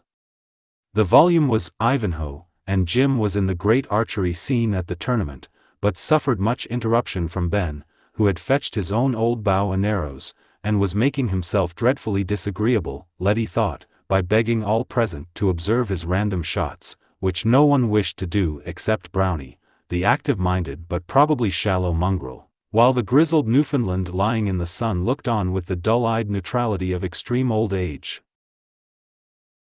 Letty herself, showing as to her mouth and pinafore some slight signs that she had been assisting at the gathering of the cherries which stood in a coral heap on the tea-table, was now seated on the grass, listening open-eyed to the reading. But the center of interest was changed for all by the arrival of Fred Vincy. When, seating himself on a garden stool, he said that he was on his way to Lowick Parsonage, Ben, who had thrown down his bow, and snatched up a reluctant half-grown kitten instead, strode across Fred's outstretched leg, and said, Take me. Oh, and me too, said Letty. You can't keep up with Fred and me, said Ben. Yes, I can. Mother, please say that I am to go, urged Letty, whose life was much checkered by resistance to her depreciation as a girl. I shall stay with Christy, observed Jim, as much as to say that he had the advantage of those simpletons, whereupon Letty put her hand up to her head and looked with jealous indecision from the one to the other. Let us all go and see Mary, said Christy, opening his arms. No, my dear child, we must not go in a swarm to the parsonage. And that old Glasgow suit of yours would never do. Besides, your father will come home. We must let Fred go alone. He can tell Mary that you are here, and she will come back tomorrow. Christy glanced at his own threadbare knees, and then at Fred's beautiful white trousers. Certainly Fred's tailoring suggested the advantages of an English university, and he had a graceful way even of looking warm and of pushing his hair back with his handkerchief. Children, run away, said Mrs. Garth, it is too warm to hang about your friends. Take your brother and show him the rabbits. The eldest understood, and led off the children immediately. Fred felt that Mrs. Garth wished to give him an opportunity of saying anything he had to say, but he could only begin by observing, How glad you must be to have Christy here. Yes, he has come sooner than I expected. He got down from the coach at nine o'clock, just after his father went out. I am longing for Caleb to come and hear what wonderful progress Christy is making. He has paid his expenses for the last year by giving lessons, carrying on hard study at the same time. He hopes soon to get a private tutorship and go abroad. He is a great fellow, said Fred, to whom these cheerful truths had a medicinal taste, and no trouble to anybody. After a slight pause, he added, But I fear you will think that I am going to be a great deal of trouble to Mr. Garth. Caleb likes taking trouble, he is one of those men who always do more than anyone would have thought of asking them to do, answered Mrs. Garth. She was knitting, and could either look at Fred or not, as she chose, always an advantage when one is bent on loading speech with salutary meaning, and though Mrs. Garth intended to be duly reserved, she did wish to say something that Fred might be the better for. I know you think me very undeserving, Mrs. Garth, and with good reason, said Fred, his spirit rising a little at the perception of something like a disposition to lecture him. I happen to have behaved just the worst to the people I can't help wishing for the most from. But while two men like Mr. Garth and Mr. Farebrother have not given me up, I don't see why I should give myself up. Fred thought it might be well to suggest these masculine examples to Mrs. Garth. Assuredly, said she, with gathering emphasis. A young man for whom two such elders had devoted themselves would indeed be culpable if he threw himself away and made their sacrifices vain. Fred wondered a little at this strong language, but only said, I hope it will not be so with me, Mrs. Garth, since I have some encouragement to believe that I may win Mary. Mr. Garth has told you about that? You were not surprised, I dare say? Fred ended, innocently referring only to his own love as probably evident enough. Not surprised that Mary has given you encouragement, returned Mrs. Garth, who thought it would be well for Fred to be more alive to the fact that Mary's friends could not possibly have wished this beforehand, whatever the Vincys might suppose. Yes, I confess I was surprised. She never did give me any, not the least in the world, when I talked to her myself, said Fred, eager to vindicate Mary.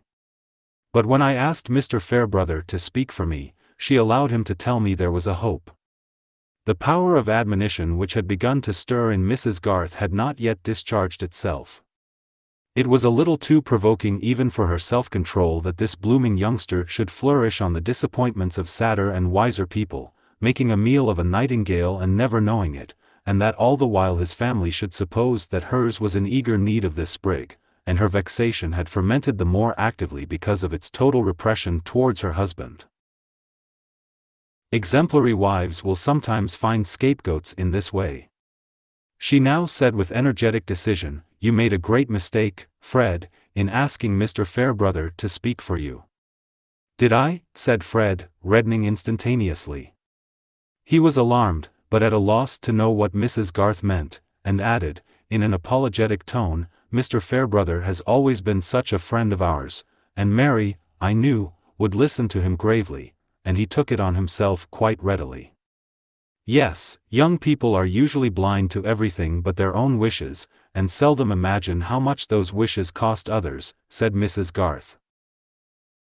She did not mean to go beyond this salutary general doctrine, and threw her indignation into a needless unwinding of her worsted, knitting her brow at it with a grand air. I cannot conceive how it could be any pain to Mr. Farebrother, said Fred, who nevertheless felt that surprising conceptions were beginning to form themselves. Precisely, you cannot conceive, said Mrs. Garth, cutting her words as neatly as possible. For a moment Fred looked at the horizon with a dismayed anxiety, and then turning with a quick movement said almost sharply, Do you mean to say, Mrs. Garth, that Mr. Farebrother is in love with Mary? And if it were so, Fred, I think you are the last person who ought to be surprised, returned Mrs. Garth, laying her knitting down beside her and folding her arms. It was an unwanted sign of emotion in her that she should put her work out of her hands. In fact her feelings were divided between the satisfaction of giving Fred his discipline and the sense of having gone a little too far. Fred took his hat and stick and rose quickly. Then you think I am standing in his way, and in Mary's too, he said, in a tone which seemed to demand an answer. Mrs. Garth could not speak immediately. She had brought herself into the unpleasant position of being called on to say what she really felt, yet what she knew there were strong reasons for concealing. And to her the consciousness of having exceeded in words was peculiarly mortifying. Besides, Fred had given out unexpected electricity, and he now added, Mr. Garth seemed pleased that Mary should be attached to me. He could not have known anything of this. Mrs. Garth felt a severe twinge at this mention of her husband, the fear that Caleb might think her in the wrong not being easily endurable. She answered, wanting to check unintended consequences, I spoke from inference only. I am not aware that Mary knows anything of the matter. But she hesitated to beg that he would keep entire silence on a subject which she had herself unnecessarily mentioned, not being used to stoop in that way, and while she was hesitating there was already a rush of unintended consequences under the apple tree where the tea things stood. Ben, bouncing across the grass with Brownie at his heels, and seeing the kitten dragging the knitting by a lengthening line of wool, shouted and clapped his hands. Brownie barked, the kitten, desperate, jumped on the tea table and upset the milk, then jumped down again and swept half the cherries with it, and Ben, snatching up the half-knitted sock top, fitted it over the kitten's head as a new source of madness. While Letty arriving cried out to her mother against this cruelty, it was a history. As full of sensation as This is the house that Jack built. Mrs. Garth was obliged to interfere, the other young ones came up and the tete-a-tete with Fred was ended. He got away as soon as he could, and Mrs. Garth could only imply some retractation of her severity by saying, God bless you, when she shook hands with him. She was unpleasantly conscious that she had been on the verge of speaking as, one of the foolish women speaketh, telling first and entreating silence after. But she had not entreated silence, and to prevent Caleb's blame she determined to blame herself and confess all to him that very night.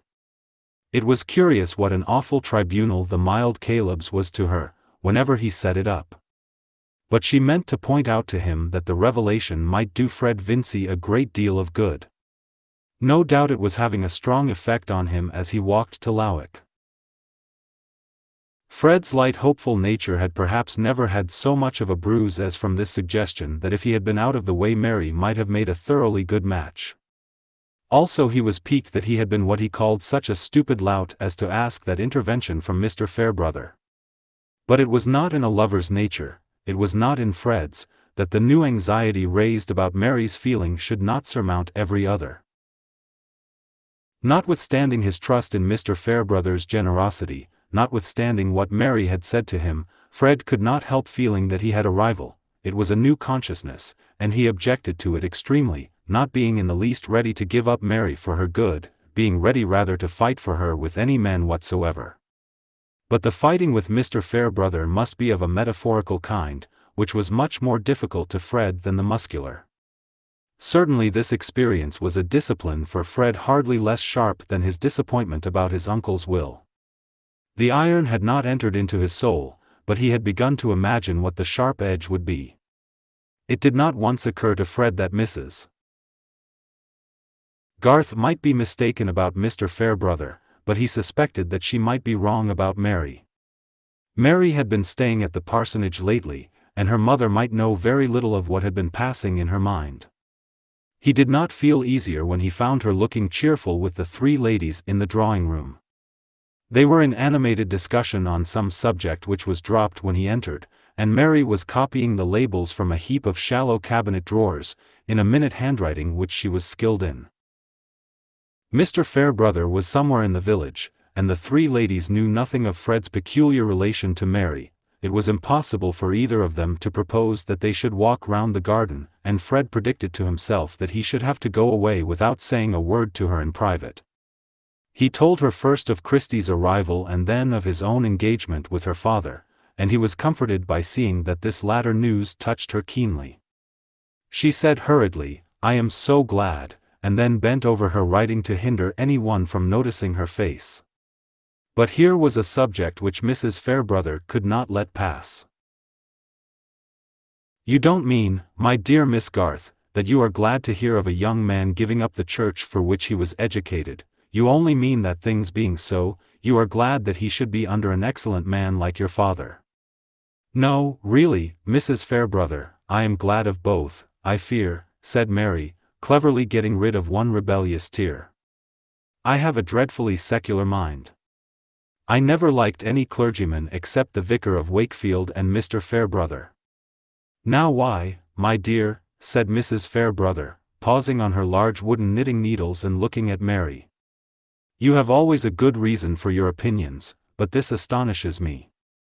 Of course I put out of the question those who preach new doctrine. But why should you dislike clergymen?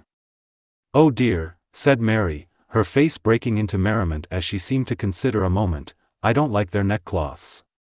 Why, you don't like Camden's, then, said Miss Winifred, in some anxiety. Yes, I do, said Mary. I don't like the other clergymen's neckcloths, because it is they who wear them. How very puzzling, said Miss Noble, feeling that her own intellect was probably deficient. My dear, you are joking. You would have better reasons than these for slighting so respectable a class of men, said Mrs. Farebrother, majestically. Miss Garth has such severe notions of what people should be that it is difficult to satisfy her, said Fred. Well, I am glad at least that she makes an exception in favor of my son, said the old lady. Mary was wondering at Fred's piqued tone, when Mr. Farebrother came in and had to hear the news about the engagement under Mr. Garth. At the end he said with quiet satisfaction, that is right, and then bent to look at Mary's labels and praise her handwriting. Fred felt horribly jealous, was glad, of course, that Mr. Farebrother was so estimable, but wished that he had been ugly and fat as men at forty sometimes are. It was clear what the end would be, since Mary openly placed Farebrother above everybody, and these women were all evidently encouraging the affair. He was feeling sure that he should have no chance of speaking to Mary, when Mr. Farebrother said, Fred, help me to carry these drawers back into my study, you have never seen my fine new study. Pray come too, Miss Garth. I want you to see a stupendous spider I found this morning. Mary at once saw the vicar's intention. He had never since the memorable evening deviated from his old pastoral kindness towards her, and her momentary wonder and doubt had quite gone to sleep.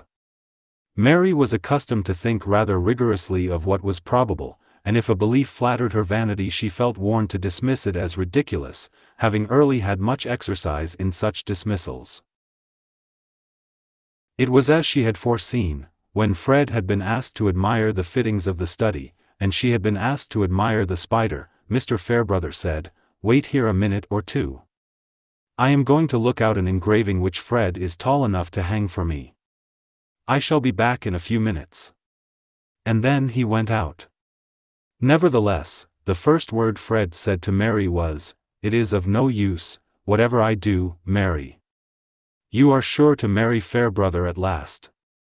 There was some rage in his tone. What do you mean, Fred? Mary exclaimed indignantly, blushing deeply, and surprised out of all her readiness in reply. It is impossible that you should not see it all clearly enough, you who see everything. I only see that you are behaving very ill, Fred, in speaking so of Mr. Farebrother after he has pleaded your cause in every way. How can you have taken up such an idea? Fred was rather deep, in spite of his irritation. If Mary had really been unsuspicious, there was no good in telling her what Mrs. Garth had said. It follows as a matter of course, he replied. When you are continually seeing a man who beats me in everything, and whom you set up above everybody, I can have no fair chance. You are very ungrateful, Fred, said Mary. I wish I had never told Mr. Farebrother that I cared for you in the least. No, I am not ungrateful, I should be the happiest fellow in the world if it were not for this. I told your father everything, and he was very kind, he treated me as if I were his son. I could go at the work with a will, writing and everything, if it were not for this. For this? For what? said Mary, imagining now that something specific must have been said or done. This dreadful certainty that I shall be bowled out by Farebrother. Mary was appeased by her inclination to laugh. Fred, she said, peeping round to catch his eyes, which were sulkily turned away from her, you are too delightfully ridiculous. If you were not such a charming simpleton, what a temptation this would be to play the wicked coquette, and let you suppose that somebody besides you has made love to me. Do you really like me best, Mary? Said Fred, turning eyes full of affection on her, and trying to take her hand. I don't like you at all at this moment, said Mary, retreating, and putting her hands behind her. I only said that no mortal ever made love to me besides you. And that is no argument that a very wise man ever will, she ended, merrily. I wish you would tell me that you could not possibly ever think of him, said Fred. Never dare to mention this any more to me, Fred, said Mary, getting serious again. I don't know whether it is more stupid or ungenerous in you not to see that Mr. Farebrother has left us together on purpose that we might speak freely. I am disappointed that you should be so blind to his delicate feeling. There was no time to say any more before Mr. Farebrother came back with the engraving, and Fred had to return to the drawing room still with a jealous dread in his heart, but yet with comforting arguments from Mary's words and manner. The result of the conversation was on the whole more painful to Mary, inevitably her attention had taken a new attitude, and she saw the possibility of new interpretations. She was in a position in which she seemed to herself to be slighting Mr. Farebrother, and this, in relation to a man who is much honored, is always dangerous to the firmness of a grateful woman. To have a reason for going home the next day was a relief, for Mary earnestly desired to be always clear that she loved Fred best.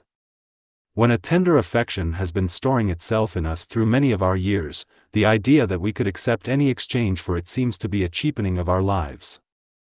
And we can set a watch over our affections and our constancy as we can over other treasures. Fred has lost all his other expectations, he must keep this, Mary said to herself, with a smile curling her lips. It was impossible to help fleeting visions of another kind, new dignities and an acknowledged value of which she had often felt the absence. But these things with Fred outside them, Fred forsaken and looking sad for the want of her, could never tempt her deliberate thought. Chapter 58 For there can live no hatred in thine eye, therefore in that I cannot know thy change, in many's looks the false heart's history is writ in moods and frowns and wrinkles strange, but heaven in thy creation did decree that in thy face sweet love should ever dwell, whatever thy thoughts or thy heart's workings be thy looks should nothing thence but sweetness tell. Shakespeare, Sonnets. At the time when Mr. Vincy uttered that presentiment about Rosamond, she herself had never had the idea that she should be driven to make the sort of appeal which he foresaw. She had not yet had any anxiety about ways and means, although her domestic life had been expensive as well as eventful. Her baby had been born prematurely, and all the embroidered robes and caps had to be laid by in darkness. This misfortune was attributed entirely to her having persisted in going out on horseback one day when her husband had desired her not to do so, but it must not be supposed that she had shown temper on the occasion, or rudely told him that she would do as she liked. What led her particularly to desire horse exercise was a visit from Captain Lydgate, the baronet's third son, who, I am sorry to say, was detested by our Tertius of that name as a vapid fop, parting his hair from brow to nape in a despicable fashion, not followed by Tertius himself, and showing an ignorant security that he knew the proper thing to say on every topic. Lydgate inwardly cursed his own folly that he had drawn down this visit by consenting to go to his uncle's on the wedding tour, and he made himself rather disagreeable to Rosamond by saying so in private. For to Rosamond this visit was a source of unprecedented but gracefully concealed exultation. She was so intensely conscious of having a cousin who was a baronet's son staying in the house, that she imagined the knowledge of what was implied by his presence to be diffused through all other minds, and when she introduced Captain Lydgate to her guests, she had a placid sense that his rank penetrated them as if it had been an odor. The satisfaction was enough for the time to melt away some disappointment in the conditions of marriage with a medical man even of good birth. It seemed now that her marriage was visibly as well as ideally floating her above the Middlemarch level, and the future looked bright with letters and visits to and from Quallingham, and vague advancement in consequence for Tertius. Especially as, probably at the captain's suggestion, his married sister, Mrs. Mengan, had come with her maid, and stayed two nights on her way from town. Hence it was clearly worth while for Rosamond to take pains with her music and the careful selection of her lace. As to Captain Lydgate himself, his low brow, his aquiline nose bent on one side, and his rather heavy utterance, might have been disadvantageous in any young gentleman who had not a military bearing and mustache to give him what is doted on by some flower-like blonde heads as style. He had, moreover, that sort of high breeding which consists in being free from the petty solicitudes of middle-class gentility, and he was a great critic of feminine charms. Rosamond delighted in his admiration now even more than she had done at Quallingham, and he found it easy to spend several hours of the day in flirting with her. The visit altogether was one of the pleasantest larks he had ever had, not the less so perhaps because he suspected that his queer cousin Tertius wished him away, though Lydgate, who would rather, hyperbolically speaking, have died than have failed in polite hospitality, suppressed his dislike, and only pretended generally not to hear what the gallant officer said, consigning the task of answering him to Rosamond. For he was not at all a jealous husband, and preferred leaving a feather-headed young gentleman alone with his wife to bearing him company. I wish you would talk more to the captain at dinner, Tertius, said Rosamond, one evening when the important guest was gone to Loamford to see some brother officers stationed there. You really look so absent sometimes, you seem to be seeing through his head into something behind it, instead of looking at him. My dear Rosie, you don't expect me to talk much to such a conceited ass as that, I hope, said Lydgate, brusquely. If he got his head broken, I might look at it with interest, not before. I cannot conceive why you should speak of your cousin so contemptuously, said Rosamond, her fingers moving at her work while she spoke with a mild gravity which had a touch of disdain in it. Ask Ladislaw if he doesn't think your captain the greatest bore he ever met with. Ladislaw has almost forsaken the house since he came. Rosamond thought she knew perfectly well why Mr. Ladislaw disliked the captain, he was jealous, and she liked his being jealous. It is impossible to say what will suit eccentric persons, she answered, but in my opinion Captain Lydgate is a thorough gentleman, and I think you ought not, out of respect to Sir Godwin, to treat him with neglect. No, dear, but we have had dinners for him. And he comes in and goes out as he likes. He doesn't want me. Still, when he is in the room, you might show him more attention. He may not be a phoenix of cleverness in your sense, his profession is different, but it would be all the better for you to talk a little on his subjects. I think his conversation is quite agreeable. And he is anything but an unprincipled man. The fact is, you would wish me to be a little more like him, Rosie, said Lydgate, in a sort of resigned murmur, with a smile which was not exactly tender, and certainly not merry. Rosamond was silent and did not smile again, but the lovely curves of her face looked good-tempered enough without smiling.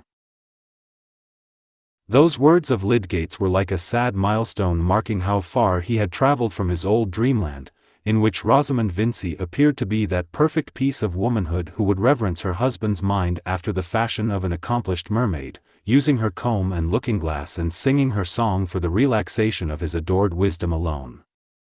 He had begun to distinguish between that imagined adoration and the attraction towards a man's talent because it gives him prestige, and is like an order in his buttonhole or an honorable before his name.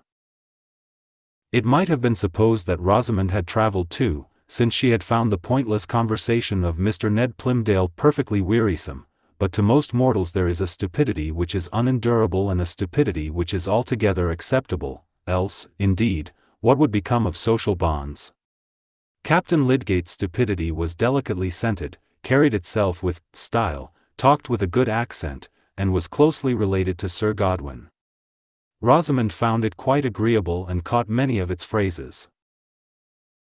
Therefore since Rosamond, as we know, was fond of horseback, there were plenty of reasons why she should be tempted to resume her riding when Captain Lydgate, who had ordered his man with two horses to follow him and put up at the Green Dragon, begged her to go out on the grey which he warranted to be gentle and trained to carry a lady, indeed, he had bought it for his sister, and was taking it to Quallingham.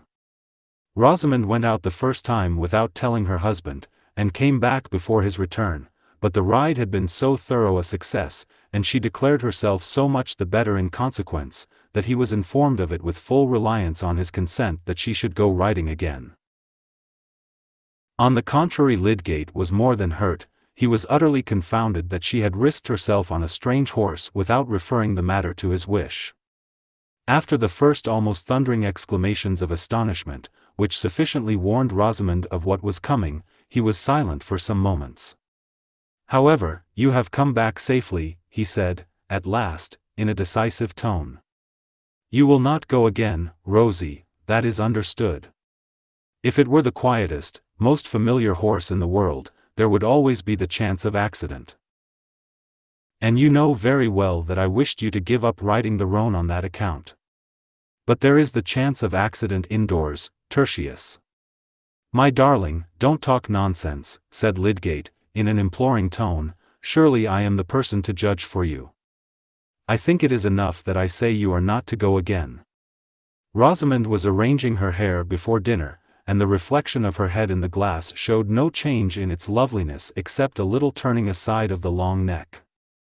Lydgate had been moving about with his hands in his pockets, and now paused near her, as if he awaited some assurance.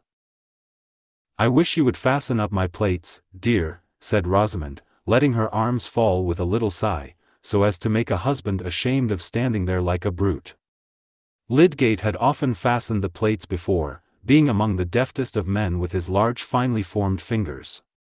He swept up the soft festoons of plates and fastened in the tall comb, to such uses do men come, and what could he do then but kiss the exquisite nape which was shown in all its delicate curves? But when we do what we have done before, it is often with a difference.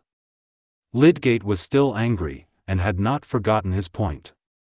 I shall tell the captain that he ought to have known better than offer you his horse, he said, as he moved away. I beg you will not do anything of the kind, Tertius, said Rosamond, looking at him with something more marked than usual in her speech. It will be treating me as if I were a child. Promise that you will leave the subject to me. There did seem to be some truth in her objection. Lydgate said, Very well, with a surly obedience, and thus the discussion ended with his promising Rosamond, and not with her promising him. In fact, she had been determined not to promise. Rosamond had that victorious obstinacy which never wastes its energy in impetuous resistance. What she liked to do was to her the right thing, and all her cleverness was directed to getting the means of doing it. She meant to go out riding again on the grey, and she did go on the next opportunity of her husband's absence, not intending that he should know until it was late enough not to signify to her. The temptation was certainly great, she was very fond of the exercise, and the gratification of riding on a fine horse, with Captain Lydgate, Sir Godwin's son, on another fine horse by her side, and of being met in this position by any one but her husband, was something as good as her dreams before marriage. Moreover, she was riveting the connection with the family at Quallingham, which must be a wise thing to do. But the gentle grey, unprepared for the crash of a tree that was being felled on the edge of Halsell Wood, took fright, and caused a worse fright to Rosamond, leading finally to the loss of her baby. Lydgate could not show his anger towards her, but he was rather bearish to the captain, whose visit naturally soon came to an end. In all future conversations on the subject, Rosamond was mildly certain that the ride had made no difference, and that if she had stayed at home the same symptoms would have come on and would have ended in the same way, because she had felt something like them before. Lydgate could only say, Poor, poor darling. But he secretly wondered over the terrible tenacity of this mild creature. There was gathering within him an amazed sense of his powerlessness over Rosamond. His superior knowledge and mental force, instead of being, as he had imagined, a shrine to consult on all occasions, was simply set aside on every practical question. He had regarded Rosamond's cleverness as precisely of the receptive kind which became a woman. He was now beginning to find out what that cleverness was, what was the shape into which it had run as into a close network aloof and independent. No one quicker than Rosamond to see causes and effects which lay within the track of her own tastes and interests, she had seen clearly Lydgate's preeminence in Middlemarch society, and could go on imaginatively tracing still more agreeable social effects when his talent should have advanced him, but for her, his professional and scientific ambition had no other relation to these desirable effects than if they had been the fortunate discovery of an ill-smelling oil. And that oil apart, with which she had nothing to do, of course she believed in her own opinion more than she did in his. Lydgate was astounded to find in numberless trifling matters, as well as in this last serious case of the writing, that affection did not make her compliant. He had no doubt that the affection was there, and had no presentiment that he had done anything to repel it. For his own part he said to himself that he loved her as tenderly as ever, and could make up his mind to her negations, but, well. Lydgate was much worried, and conscious of new elements in his life as noxious to him as an inlet of mud to a creature that has been used to breathe and bathe and dart after its illuminated prey in the clearest of waters. Rosamond was soon looking lovelier than ever at her work-table, enjoying drives in her father's phaeton and thinking it likely that she might be invited to Quallingham. She knew that she was a much more exquisite ornament to the drawing-room there than any daughter of the family, and in reflecting that the gentlemen were aware of that, did not perhaps sufficiently consider whether the ladies would be eager to see themselves surpassed. Lydgate, relieved from anxiety about her, relapsed into what she inwardly called his moodiness, a name which to her covered his thoughtful preoccupation with other subjects than herself, as well as that uneasy look of the brow and distaste for all ordinary things as if they were mixed with bitter herbs, which really made a sort of weather-glass to his vexation and foreboding.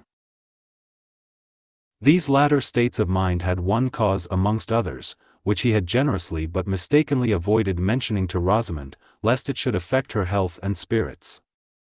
Between him and her indeed there was that total missing of each other's mental track, which is too evidently possible even between persons who are continually thinking of each other.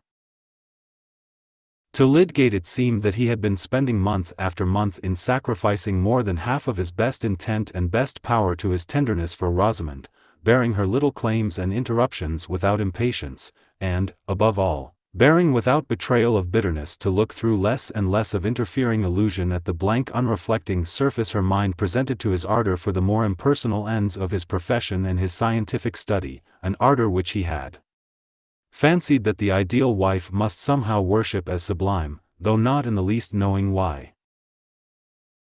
But his endurance was mingled with a self-discontent which, if we know how to be candid, we shall confess to make more than half our bitterness under grievances, wife or husband included. It always remains true that if we had been greater, circumstance would have been less strong against us. Lydgate was aware that his concessions to Rosamond were often little more than the lapse of slackening resolution, the creeping paralysis apt to seize an enthusiasm which is out of adjustment to a constant portion of our lives. And on Lydgate's enthusiasm there was constantly pressing not a simple weight of sorrow, but the biting presence of a petty degrading care, such as casts the blight of irony over all higher effort. This was the care which he had hitherto abstained from mentioning to Rosamond, and he believed, with some wonder, that it had never entered her mind, though certainly no difficulty could be less mysterious.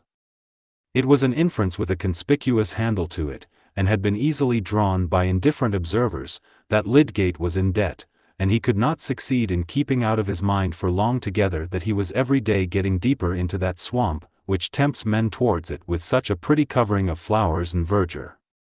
It is wonderful how soon a man gets up to his chin there, in a condition in which, in spite of himself, he is forced to think chiefly of release, though he had a scheme of the universe in his soul. Eighteen months ago Lydgate was poor, but had never known the eager want of small sums, and felt rather a burning contempt for any one who descended a step in order to gain them. He was now experiencing something worse than a simple deficit, he was assailed by the vulgar hateful trials of a man who has bought and used a great many things which might have been done without, and which he is unable to pay for, though the demand for payment has become pressing. How this came about may be easily seen without much arithmetic or knowledge of prices. When a man in setting up a house and preparing for marriage finds that his furniture and other initial expenses come to between four and five hundred pounds more than he has capital to pay for, when at the end of a year it appears that his household expenses, horses and et caeteras, amount to nearly a thousand, while the proceeds of the practice reckoned from the old books to be worth 800 per annum have sunk like a summer pond and make hardly 500, chiefly in unpaid entries. The plain inference is that, whether he minds it or not, he is in debt. Those were less expensive times than our own, and provincial life was comparatively modest, but the ease with which a medical man who had lately bought a practice, who thought that he was obliged to keep two horses, whose table was supplied without stint, and who paid an insurance on his life and a high rent for house and garden, might find his expenses doubling his receipts, can be conceived by anyone who does not think these details beneath his consideration. Rosamond, accustomed from her childhood to an extravagant household, thought that good housekeeping consisted simply in ordering the best of everything, nothing else answered, and Lydgate supposed that, if things were done at all, they must be done properly, he did not see how they were to live otherwise. If each head of household expenditure had been mentioned to him beforehand, he would have probably observed that, it could hardly come to much, and if any one had suggested a saving on a particular article, for example, the substitution of cheap fish for dear, it would have appeared to him simply a penny-wise, mean notion. Rosamond, even without such an occasion as Captain Lydgate's visit, was fond of giving invitations, and Lydgate, though he often thought the guests tiresome, did not interfere. This sociability seemed a necessary part of professional prudence, and the entertainment must be suitable. It is true Lydgate was constantly visiting the homes of the poor and adjusting his prescriptions of diet to their small means, but, dear me! Has it not by this time ceased to be remarkable, is it not rather that we expect in men, that they should have numerous strands of experience lying side by side and never compare them with each other? Expenditure, like ugliness and errors, becomes a totally new thing when we attach our own personality to it, and measure it by that wide difference which is manifest, in our own sensations, between ourselves and others. Lydgate believed himself to be careless about his dress, and he despised a man who calculated the effects of his costume. It seemed to him only a matter of course that he had abundance of fresh garments, such things were naturally ordered in sheaves. It must be remembered that he had never hitherto felt the check of importunate debt, and he walked by habit, not by self-criticism. But the check had come. Its novelty made it the more irritating. He was amazed, disgusted that conditions so foreign to all his purposes, so hatefully disconnected with the objects he cared to occupy himself with, should have lain in ambush and clutched him when he was unaware. And there was not only the actual debt, there was the certainty that in his present position he must go on deepening it. Two furnishing tradesmen at Brassing, whose bills had been incurred before his marriage, and whom uncalculated current expenses had ever since prevented him from paying, had repeatedly sent him unpleasant letters which had forced themselves on his attention. This could hardly have been more galling to any disposition than to Lydgate's, with his intense pride, his dislike of asking a favor or being under an obligation to any one. He had scorned even to form conjectures about Mr. Vincy's intentions on money matters, and nothing but extremity could have induced him to apply to his father-in-law, even if he had not been made aware in various indirect ways since his marriage that Mr. Vincy's own affairs were not flourishing, and that the expectation of help from him would be resented. Some men easily trust in the readiness of friends, it had never in the former part of his life occurred to Lydgate that he should need to do so, he had never thought what borrowing would be to him, but now that the idea had entered his mind, he felt that he would rather incur any other hardship. In the meantime he had no money or prospects of money, and his practice was not getting more lucrative. No wonder that Lydgate had been unable to suppress all signs of inward trouble during the last few months, and now that Rosamond was regaining brilliant health, he meditated taking her entirely into confidence on his difficulties. New conversance with tradesmen's bills had forced his reasoning into a new channel of comparison, he had begun to consider from a new point of view what was necessary and unnecessary in goods ordered, and to see that there must be some change of habits. How could such a change be made without Rosamond's concurrence? The immediate occasion of opening the disagreeable fact to her was forced upon him. Having no money, and having privately sought advice as to what security could possibly be given by a man in his position, Lydgate had offered the one good security in his power to the less peremptory creditor, who was a silversmith and jeweler, and who consented to take on himself the upholsterer's credit also, accepting interest for a given term. The security necessary was a bill of sale on the furniture of his house, which might make a creditor easy for a reasonable time about a debt amounting to less than £400, and the silversmith, Mr. Dover, was willing to reduce it by taking back a portion of the plate and any other article which was as good as new. Any other article was a phrase delicately implying jewellery, and more particularly some purple amethysts costing £30, which Lydgate had bought as a bridal present. Opinions may be divided as to his wisdom in making this present, some may think that it was a graceful attention to be expected from a man like Lydgate, and that the fault of any troublesome consequences lay in the pinched narrowness of provincial life at that time, which offered no conveniences for professional people whose fortune was not proportioned to their tastes, also, in Lydgate's ridiculous fastidiousness about asking his friends for money. However, it had seemed a question of no moment to him on that fine morning when he went to give a final order for plate, in the presence of other jewels enormously expensive, and as an addition to orders of which the amount had not been exactly calculated, thirty pounds for ornaments so exquisitely suited to Rosamond's neck and arms could hardly appear excessive when there was no ready cash for it to exceed. But at this crisis Lydgate's imagination could not help dwelling on the possibility of letting the amethysts take their place again among Mr. Dover's stock, though he shrank from the idea of proposing this to Rosamond. Having been roused to discern consequences which he had never been in the habit of tracing, he was preparing to act on this discernment with some of the rigor, by no means all, that he would have applied in pursuing experiment.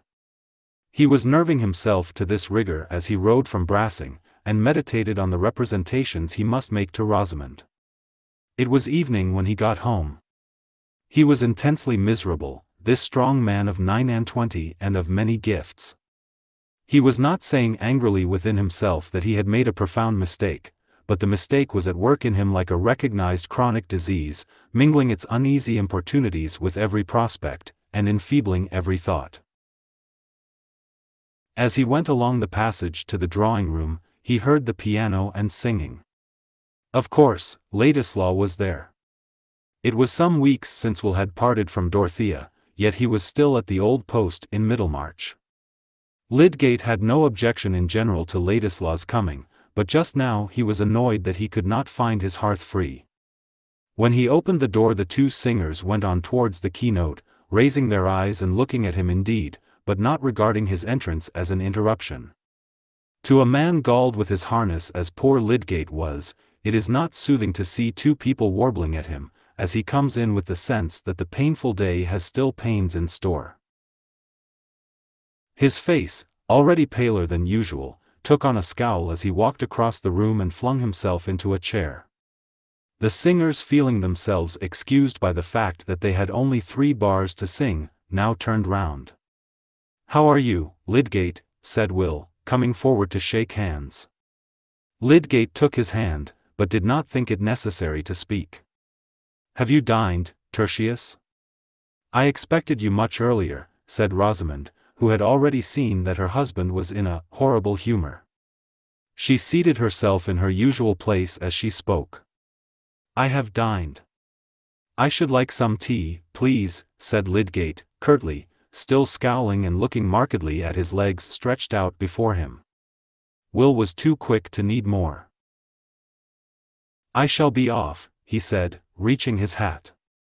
Tea is coming, said Rosamond, pray don't go. Yes, Lydgate is bored, said Will, who had more comprehension of Lydgate than Rosamond had, and was not offended by his manner, easily imagining outdoor causes of annoyance. There is the more need for you to stay, said Rosamond, playfully, and in her lightest accent, he will not speak to me all the evening. Yes, Rosamond, I shall, said Lydgate, in his strong baritone. I have some serious business to speak to you about. No introduction of the business could have been less like that which Lydgate had intended, but her indifferent manner had been too provoking. There. You see, said Will. I'm going to the meeting about the Mechanics' Institute. Goodbye, and he went quickly out of the room. Rosamond did not look at her husband, but presently rose and took her place before the tea tray. She was thinking that she had never seen him so disagreeable. Lydgate turned his dark eyes on her and watched her as she delicately handled the tea service with her taper fingers, and looked at the objects immediately before her with no curve in her face disturbed, and yet with an ineffable protest in her air against all people with unpleasant manners. For the moment he lost the sense of his wound in a sudden speculation about this new form of feminine impassibility revealing itself in the sylph-like frame which he had once interpreted as the sign of a ready intelligent sensitiveness. His mind glancing back to Laure while he looked at Rosamond, he said inwardly, would she kill me because I wearied her, and then, it is the way with all women. But this power of generalizing which gives men so much the superiority in mistake over the dumb animals, was immediately thwarted by Lydgate's memory of wondering impressions from the behavior of another woman, from Dorothea's looks and tones of emotion about her husband when Lydgate began to attend him, From her passionate cry to be taught what would best comfort that man for whose sake it seemed as if she must quell every impulse in her except the yearnings of faithfulness and compassion. These revived impressions succeeded each other quickly and dreamily in Lydgate's mind while the tea was being brewed. He had shut his eyes in the last instant of reverie while he heard Dorothea saying, Advise me, think what I can do, he has been all his life laboring and looking forward. He minds about nothing else, and I mind about nothing else. That voice of deep-souled womanhood had remained within him as the enkindling conceptions of dead and sceptered genius had remained within him, is there not a genius for feeling nobly which also reigns over human spirits and their conclusions? The tones were a music from which he was falling away, he had really fallen into a momentary doze, when Rosamond said in her silvery neutral way, Here is your tea, Tertius, setting it on the small table by his side, and then moved back to her place. Without looking at him. Lydgate was too hasty in attributing insensibility to her, after her own fashion, she was sensitive enough, and took lasting impressions. Her impression now was one of offense and repulsion. But then, Rosamond had no scowls and had never raised her voice, she was quite sure that no one could justly find fault with her. Perhaps Lydgate and she had never felt so far off each other before, but there were strong reasons for not deferring his revelation, even if he had not already begun it by that abrupt announcement, indeed some of the angry desire to rouse her into more sensibility on his account which had prompted him to speak prematurely, still mingled with his pain in the prospect of her pain. But he waited till the tray was gone, the candles were lit, and the evening quiet might be counted on, the interval had left time for repelled tenderness to return into the old course. He spoke kindly. Dear Rosie, lay down your work and come to sit by me, he said, gently, pushing away the table, and stretching out his arm to draw a chair near his own. Rosamond obeyed. As she came towards him in her drapery of transparent faintly tinted muslin, her slim yet round figure never looked more graceful, as she sat down by him and laid one hand on the elbow of his chair, at last looking at him and meeting his eyes, her delicate neck and cheek and purely cut lips never had more of that untarnished beauty which touches as in springtime and infancy and all sweet freshness.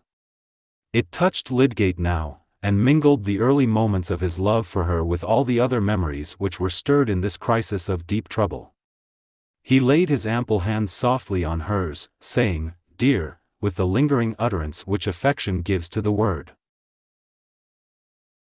Rosamond too was still under the power of that same past, and her husband was still in part the Lydgate whose approval had stirred delight. She put his hair lightly away from his forehead, then laid her other hand on his, and was conscious of forgiving him. I am obliged to tell you what will hurt you, Rosie. But there are things which husband and wife must think of together. I dare say it has occurred to you already that I am short of money. Lydgate paused, but Rosamond turned her neck and looked at a vase on the mantelpiece. I was not able to pay for all the things we had to get before we were married, and there have been expenses since which I have been obliged to meet. The consequence is, there is a large debt at Brassing, £380, which has been pressing on me a good while, and in fact we are getting deeper every day, for people don't pay me the faster because others want the money. I took pains to keep it from you while you were not well, but now we must think together about it, and you must help me. What can I do, Tertius, said Rosamond, turning her eyes on him again. That little speech of four words, like so many others in all languages, is capable by varied vocal inflections of expressing all states of mind from helpless dimness to exhaustive argumentative perception, from the completest self-devoting fellowship to the most neutral aloofness. Rosamond's thin utterance threw into the words, what can, do, as much neutrality as they could hold. They fell like a mortal chill on Lydgate's roused tenderness. He did not storm in indignation, he felt too sad a sinking of the heart.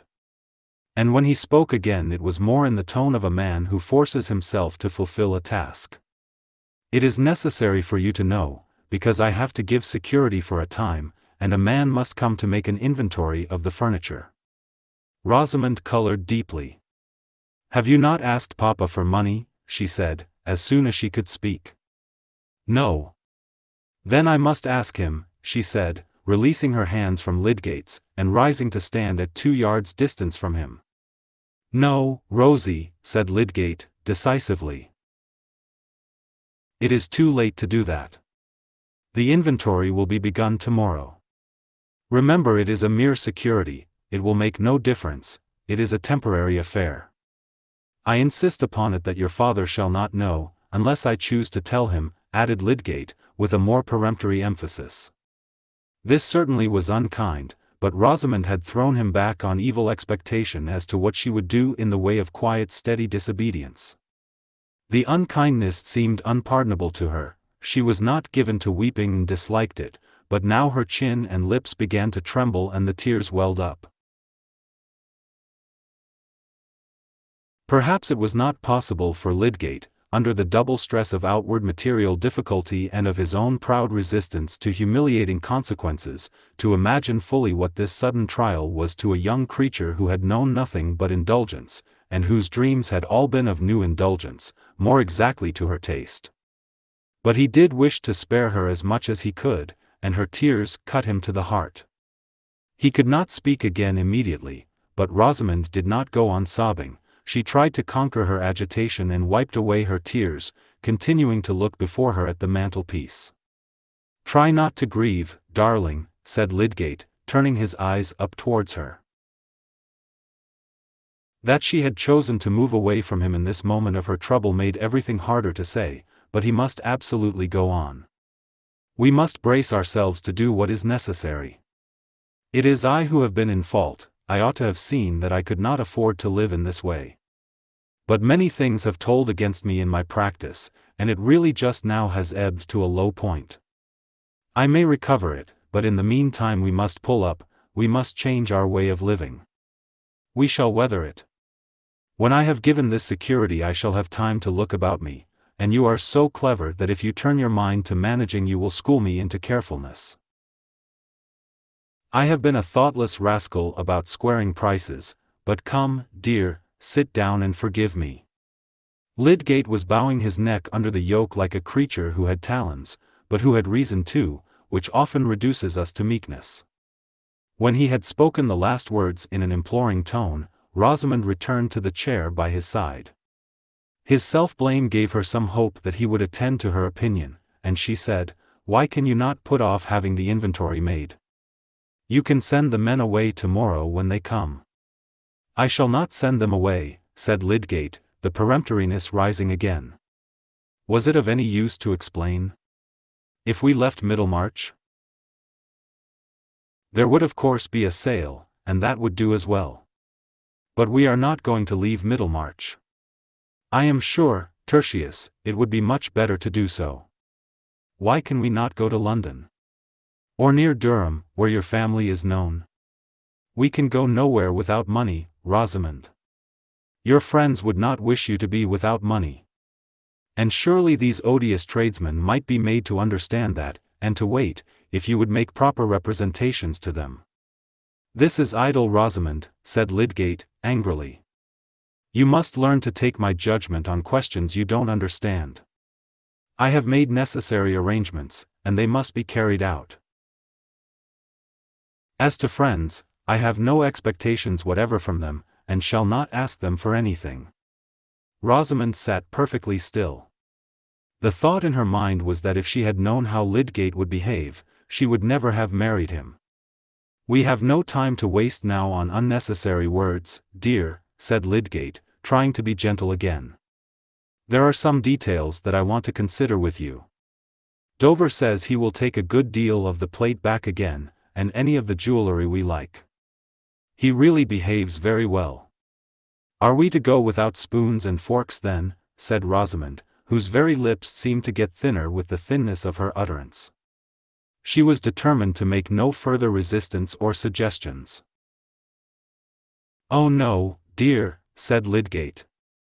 But look here, he continued, drawing a paper from his pocket and opening it, here is Dover's account. See, I have marked a number of articles, which if we returned them would reduce the amount by £30 and more.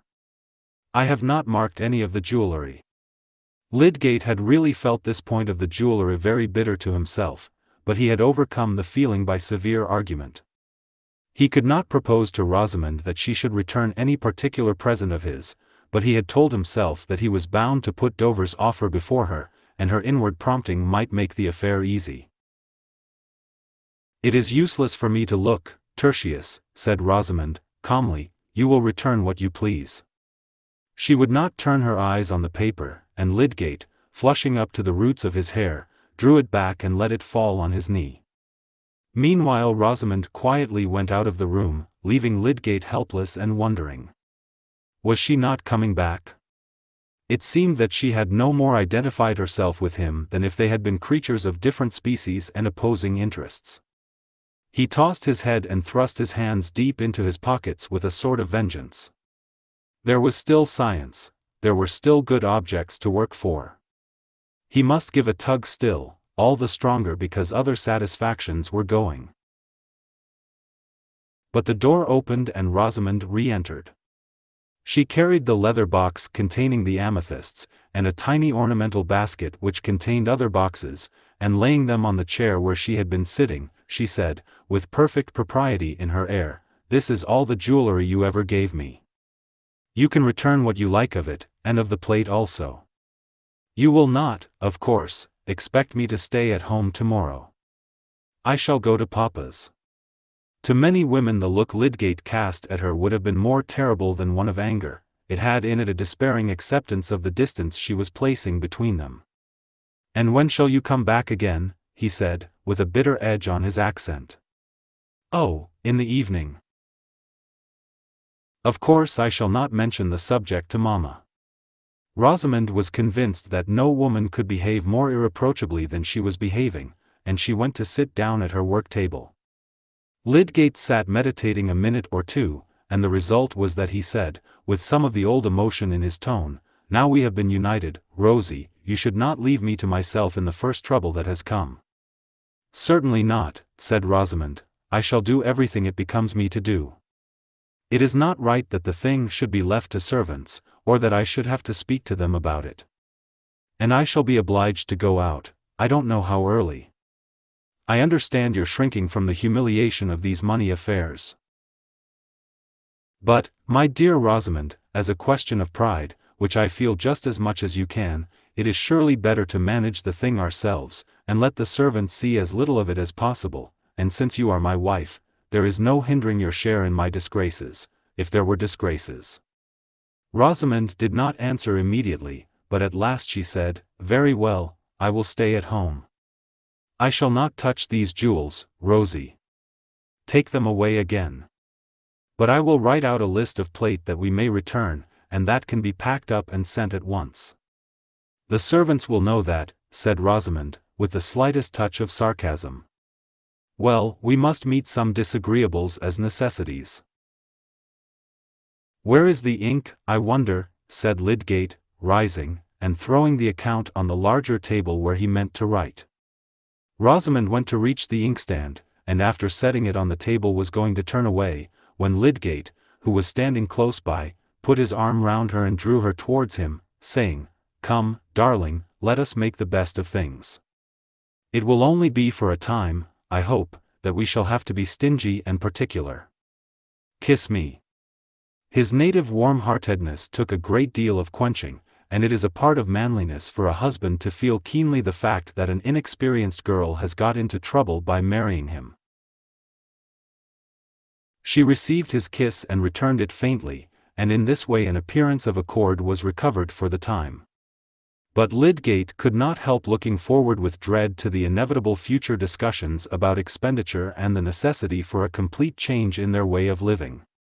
Chapter 59 they said of old the soul had human shape, but smaller, subtler than the fleshly self, so wandered forth for airing when it pleased. And see! Beside her cherub face there floats a pale-lipped form Ariel whispering its promptings in that little shell her ear. News is often dispersed as thoughtlessly and effectively as that pollen which the bees carry off, having no idea how powdery they are, when they are buzzing in search of their particular nectar. This fine comparison has reference to Fred Vincy, who on that evening at Lowick Parsonage heard a lively discussion among the ladies on the news which their old servant had got from Tantripp concerning Mr. Casaubon's strange mention of Mr. Ladislaw in a codicil to his will made not long before his death. Miss Winifred was astounded to find that her brother had known the fact before, and observed that Camden was the most wonderful man for knowing things and not telling them, whereupon Mary Garth said that the codicil had perhaps got mixed up with the habits of spiders, which Miss Winifred never would listen to. Mrs. Farebrother considered that the news had something to do with their having only once seen Mr. Ladislaw at Lowick, and Miss Noble made many small compassionate mewings. Fred knew little and cared less about Ladislaw and the Casaubons, and his mind never recurred to that discussion till one day calling on Rosamond at his mother's request to deliver a message as he passed, he happened to see Ladislaw going away. Fred and Rosamond had little to say to each other now that marriage had removed her from collision with the unpleasantness of brothers, and especially now that he had taken what she held the stupid and even reprehensible step of giving up the church to take to such a business as Mr. Garth's. Hence Fred talked by preference of what he considered indifferent news, and, apropos of that young Ladislaw, mentioned what he had heard at Lowick Parsonage. Now Lydgate, like Mr. Farebrother, knew a great deal more than he told, and when he had once been set thinking about the relation between Will and Dorothea his conjectures had gone beyond the fact. He imagined that there was a passionate attachment on both sides, and this struck him as much too serious to gossip about. He remembered Will's irritability when he had mentioned Mrs. Casaubon, and was the more circumspect. On the whole his surmises, in addition to what he knew of the fact, increased his friendliness and tolerance towards Ladislaw, and made him understand the vacillation which kept him at Middlemarch after he had said that he should go away. It was significant of the separateness between Lydgate's mind and Rosamond's that he had no impulse to speak to her on the subject, indeed, he did not quite trust her reticence towards Will. And he was right there, though he had no vision of the way in which her mind would act in urging her to speak. When she repeated Fred's news to Lydgate, he said, Take care you don't drop the faintest hint to Ladislaw, Rosie. He is likely to fly out as if you insulted him. Of course it is a painful affair. Rosamond turned her neck and patted her hair, looking the image of placid indifference. But the next time Will came when Lydgate was away, she spoke archly about his not going to London as he had threatened. I know all about it. I have a confidential little bird, said she, showing very pretty airs of her head over the bit of work held high between her active fingers.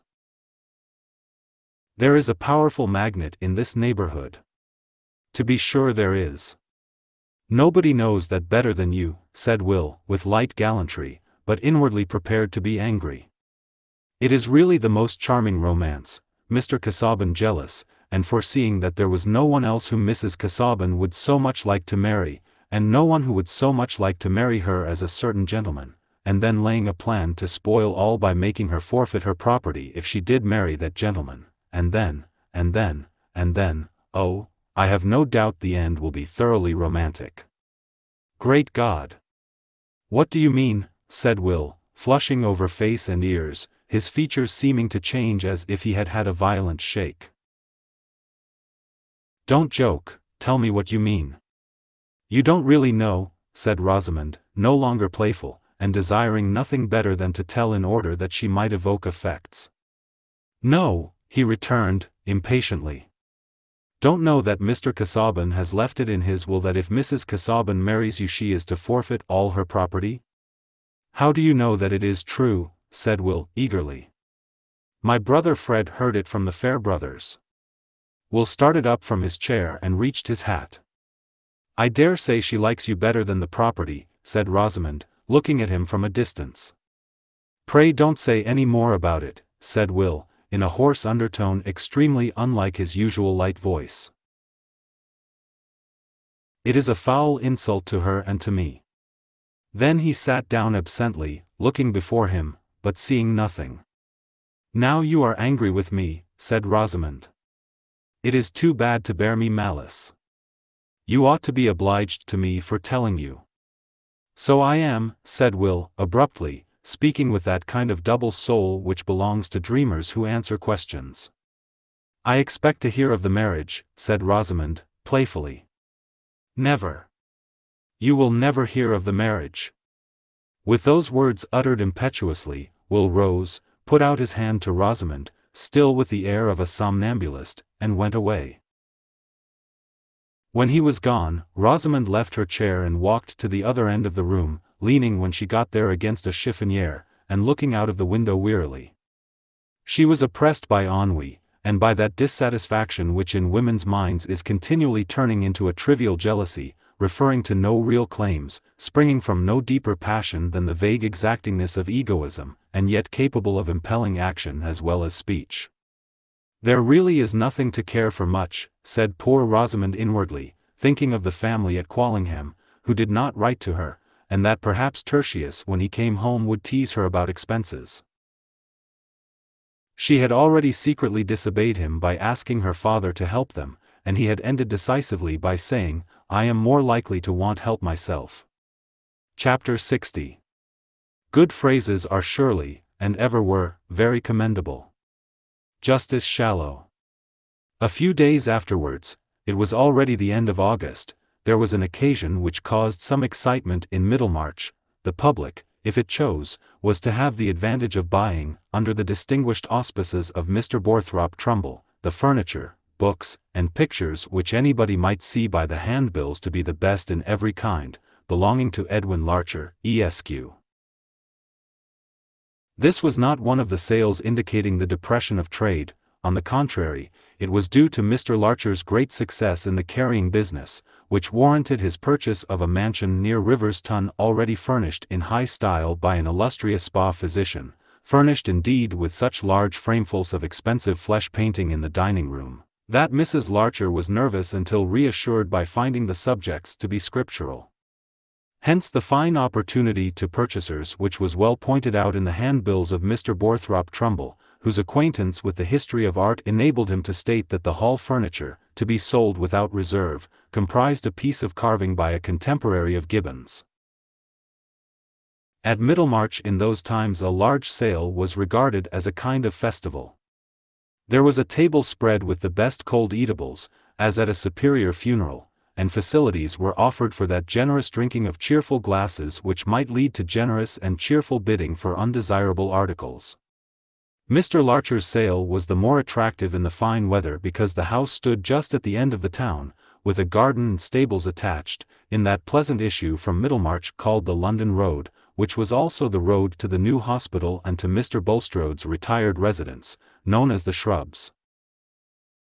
In short, the auction was as good as a fair, and drew all classes with leisure at command, to some, who risked making bids in order simply to raise prices, it was almost equal to betting at the races.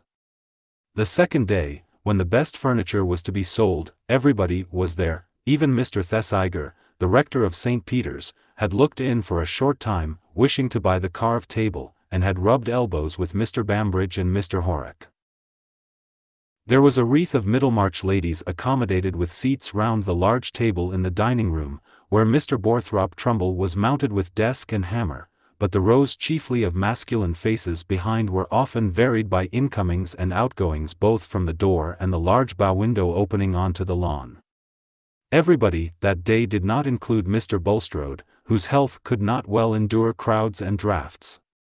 But Mrs. Bulstrode had particularly wished to have a certain picture, Supper at Emmaus, attributed in the catalogue to Guido, and at the last moment before the day of the sale Mr. Bulstrode had called at the office of the Pioneer, of which he was now one of the proprietors, to beg of Mr. Ladislaw as a great favor that he would obligingly use his remarkable knowledge of pictures on behalf of Mrs. Bulstrode, and judge of the value of this particular painting, if, added the scrupulously polite banker. Attendance at the sale would not interfere with the arrangements for your departure, which I know is imminent. This proviso might have sounded rather satirically in Will's ear if he had been in a mood to care about such satire. It referred to an understanding entered into many weeks before with the proprietors of the paper, that he should be at liberty any day he pleased to hand over the management to the sub-editor whom he had been training, since he wished finally to quit Middlemarch. But indefinite visions of ambition are weak against the ease of doing what is habitual or beguilingly agreeable, and we all know the difficulty of carrying out a resolve when we secretly long that it may turn out to be unnecessary. In such states of mind the most incredulous person has a private leaning towards miracle, impossible to conceive how our wish could be fulfilled, still, very wonderful things have happened. Will did not confess this weakness to himself, but he lingered. What was the use of going to London at that time of the year? The rugby men who would remember him were not there, and so far as political writing was concerned, he would rather for a few weeks go on with the Pioneer. At the present moment, however, when Mr. Bulstrode was speaking to him, he had both a strengthened resolve to go and an equally strong resolve not to go till he had once more seen Dorothea. Hence he replied that he had reasons for deferring his departure a little, and would be happy to go to the sale. Will was in a defiant mood, his consciousness being deeply stung with the thought that the people who looked at him probably knew a fact tantamount to an accusation against him as a fellow with low designs which were to be frustrated by a disposal of property. Like most people who assert their freedom with regard to conventional distinction, he was prepared to be sudden and quick at quarrel with anyone who might hint that he had personal reasons for that assertion, that there was anything in his blood, his bearing, or his character to which he gave the mask of an opinion. When he was under an irritating impression of this kind he would go about for days with a defiant look, the color changing in his transparent skin as if he were on the qui-vive, watching for something which he had to dart upon. This expression was peculiarly noticeable in him at the sale, and those who had only seen him in his moods of gentle oddity or of bright enjoyment would have been struck with a contrast.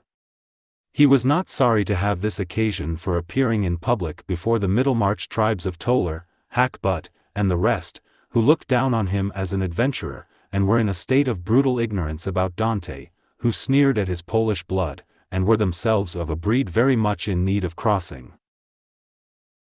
He stood in a conspicuous place not far from the auctioneer, with a forefinger in each side pocket and his head thrown backward, not caring to speak to anybody, though he had been cordially welcomed as a connoisseur by Mr. Trumbull, who was enjoying the utmost activity of his great faculties. And surely among all men whose vocation requires them to exhibit their powers of speech, the happiest is a prosperous provincial auctioneer keenly alive to his own jokes and sensible of his encyclopedic knowledge.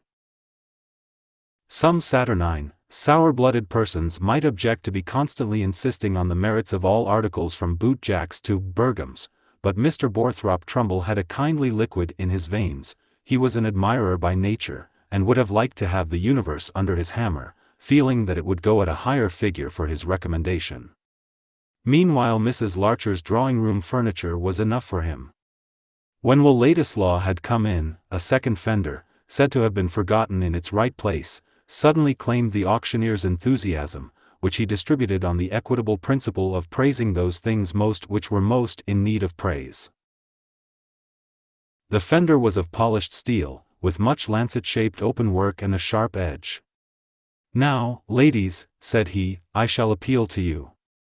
Here is a fender which at any other sale would hardly be offered without reserve, being, as I may say, for quality of steel and quaintness of design, a kind of thing, here Mr. Trumbull dropped his voice and became slightly nasal, trimming his outlines with his left finger, that might not fall in with ordinary tastes. Allow me to tell you that by and by this style of workmanship will be the only one in vogue, half a crown, you said? Thank you, going at half a crown, this characteristic fender, and I have particular information that the antique style is very much sought after in high quarters. Three shillings, three and sixpence, hold it well up, Joseph. Look, ladies, at the chastity of the design, I have no doubt myself that it was turned out in the last century. Four shillings, Mr. Mawmsey, four shillings. It's not a thing I would put in my drawing room, said Mrs. Mawmsey, audibly, for the warning of the rash husband. I wonder at Mrs. Larcher. Every blessed child's head that fell against it would be cut in two. The edge is like a knife.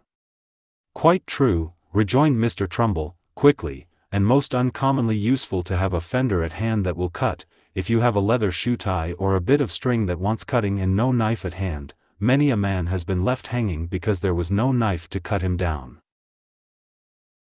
Gentlemen, here's a fender that if you had the misfortune to hang yourselves would cut you down in no time, with astonishing celerity, four and sixpence, five, five and sixpence, an appropriate thing for a spare bedroom where there was a four-poster and a guest a little out of his mind, six shillings, thank you, Mr. Clintup, going at six shillings, going, gone. The auctioneer's glance, which had been searching round him with a preternatural susceptibility to all signs of bidding, here dropped on the paper before him, and his voice too dropped into a tone of indifferent dispatch as he said, Mr. Clintup. Be handy, Joseph. It was worth six shillings to have a fender you could always tell that joke on, said Mr. Clintup, laughing low and apologetically to his next neighbor. He was a diffident though distinguished nurseryman, and feared that the audience might regard his bid as a foolish one. Meanwhile Joseph had brought a trayful of small articles. Now, ladies, said Mr. Trumbull, taking up one of the articles, this tray contains a very recherché lot, a collection of trifles for the drawing-room table, and trifles make the sum of human things, nothing more important than trifles, yes, Mr. Ladislaw, yes, by and by, but pass the tray round, Joseph, these bijoux must be examined, ladies. This I have in my hand is an ingenious contrivance, a sort of practical rebus, I may call it, here, you see, it looks like an elegant heart-shaped box, portable, for the pocket, there, again, it becomes like a splendid double flower, an ornament for the table, and now, Mr. Trumbull allowed the flower to fall alarmingly into strings of heart-shaped leaves, a book of riddles. No less than 500 printed in a beautiful red. Gentlemen, if I had less of a conscience, should not wish you to bid high for this lot, I have a longing for it myself. What can promote innocent mirth, and I may say virtue, more than a good riddle, it hinders profane language, and attaches a man to the society of refined females. This ingenious article itself, without the elegant domino box, card basket, and c, ought alone to give a high price to the lot. Carried in the pocket it might make an individual welcome in any society. Four shillings, sir, four shillings for this remarkable collection of riddles with the et caeteras. Here is a sample, how must you spell honey to make it catch ladybirds? Answer, money. You hear, ladybirds, honey money. This is an amusement to sharpen the intellect, it has a sting, it has what we call satire, and wit without indecency. Four and sixpence, five shillings. The bidding ran on with warming rivalry. Mr. Bowyer was a bidder, and this was too exasperating. Bowyer couldn't afford it, and only wanted to hinder every other man from making a figure. The current carried even Mr. Horrock with it, but this committal of himself to an opinion fell from him with so little sacrifice of his neutral expression, that the bid might not have been detected as his but for the friendly oaths of Mr. Bambridge, who wanted to know what Horrock would do with blasted stuff only fit for haberdashers given over to that state of perdition which the horse dealer so cordially recognized in the majority of earthly existences. The lot was finally knocked down at a guinea to Mr. Spilkins, young slender of the neighborhood, who was reckless with his pocket money and felt his want of memory for riddles. Come, Trumbull, this is too bad, you've been putting some old maid's rubbish into the sale, murmured Mr. Toller, getting close to the auctioneer. I want to see how the prints go, and I must be off soon. Immediately, Mr. Toller. It was only an act of benevolence which your noble heart would approve. Joseph. Quick with the prince, lot 235. Now, gentlemen, you who are connoisseurs, you are going to have a treat. Here is an engraving of the Duke of Wellington surrounded by his staff on the field of Waterloo, and notwithstanding recent events which have, as it were, enveloped our great hero in a cloud, I will be bold to say, for a man in my line must not be blown about by political winds, that a finer subject, of the modern order, belonging to our own time and epoch, the understanding of man could hardly conceive, angels might, perhaps, but not men, sirs, not men. Who painted it, said Mr. Powderell, much impressed. It is a proof before the letter, Mr. Powderell, the painter is not known, answered Trumbull, with a certain gaspingness in his last words, after which he pursed up his lips and stared round him. I'll bid a pound, said Mr. Powderell, in a tone of resolved emotion, as of a man ready to put himself in the breach. Whether from awe or pity, nobody raised the price on him. Next came two Dutch prints which Mr. Toller had been eager for, and after he had secured them he went away. Other prints, and afterward some paintings, were sold to leading Middlemarchers who had come with a special desire for them, and there was a more active movement of the audience in and out, some, who had bought what they wanted, going away, others coming in either quite newly or from a temporary visit to the refreshments which were spread under the marquee on the lawn. It was this marquee that Mr. Bambridge was bent on buying, and he appeared to like looking inside it frequently, as a foretaste of its possession. On the last occasion of his return from it he was observed to bring with him a new companion, a stranger to Mr. Trumbull and every one else, whose appearance, however, led to the supposition that he might be a relative of the horse dealer's, also given to indulgence. His large whiskers, imposing swagger, and swing of the leg, made him a striking figure, but his suit of black, rather shabby at the edges, caused the prejudicial inference that he was not able to afford himself as much indulgence as he liked. Who is it you've picked up, Bam? said Mr. Horrock, aside. Ask him yourself, returned Mr. Bambridge. He said he'd just turned in from the road. Mr. Horrock eyed the stranger, who was leaning back against his stick with one hand, using his toothpick with the other, and looking about him with a certain restlessness apparently under the silence imposed on him by circumstances. At length the supper at Emmaus was brought forward, to Will's immense relief, for he was getting so tired of the proceedings that he had drawn back a little and leaned his shoulder against the wall just behind the auctioneer. He now came forward again, and his eye caught the conspicuous stranger, who, rather to his surprise, was staring at him markedly. But Will was immediately appealed to by Mr. Trumbull. Yes, Mr. Ladislaw, yes, this interests you as a connoisseur, I think. It is some pleasure, the auctioneer went on with a rising fervor, to have a picture like this to show to a company of ladies and gentlemen, a picture worth any sum to an individual whose means were on a level with his judgment.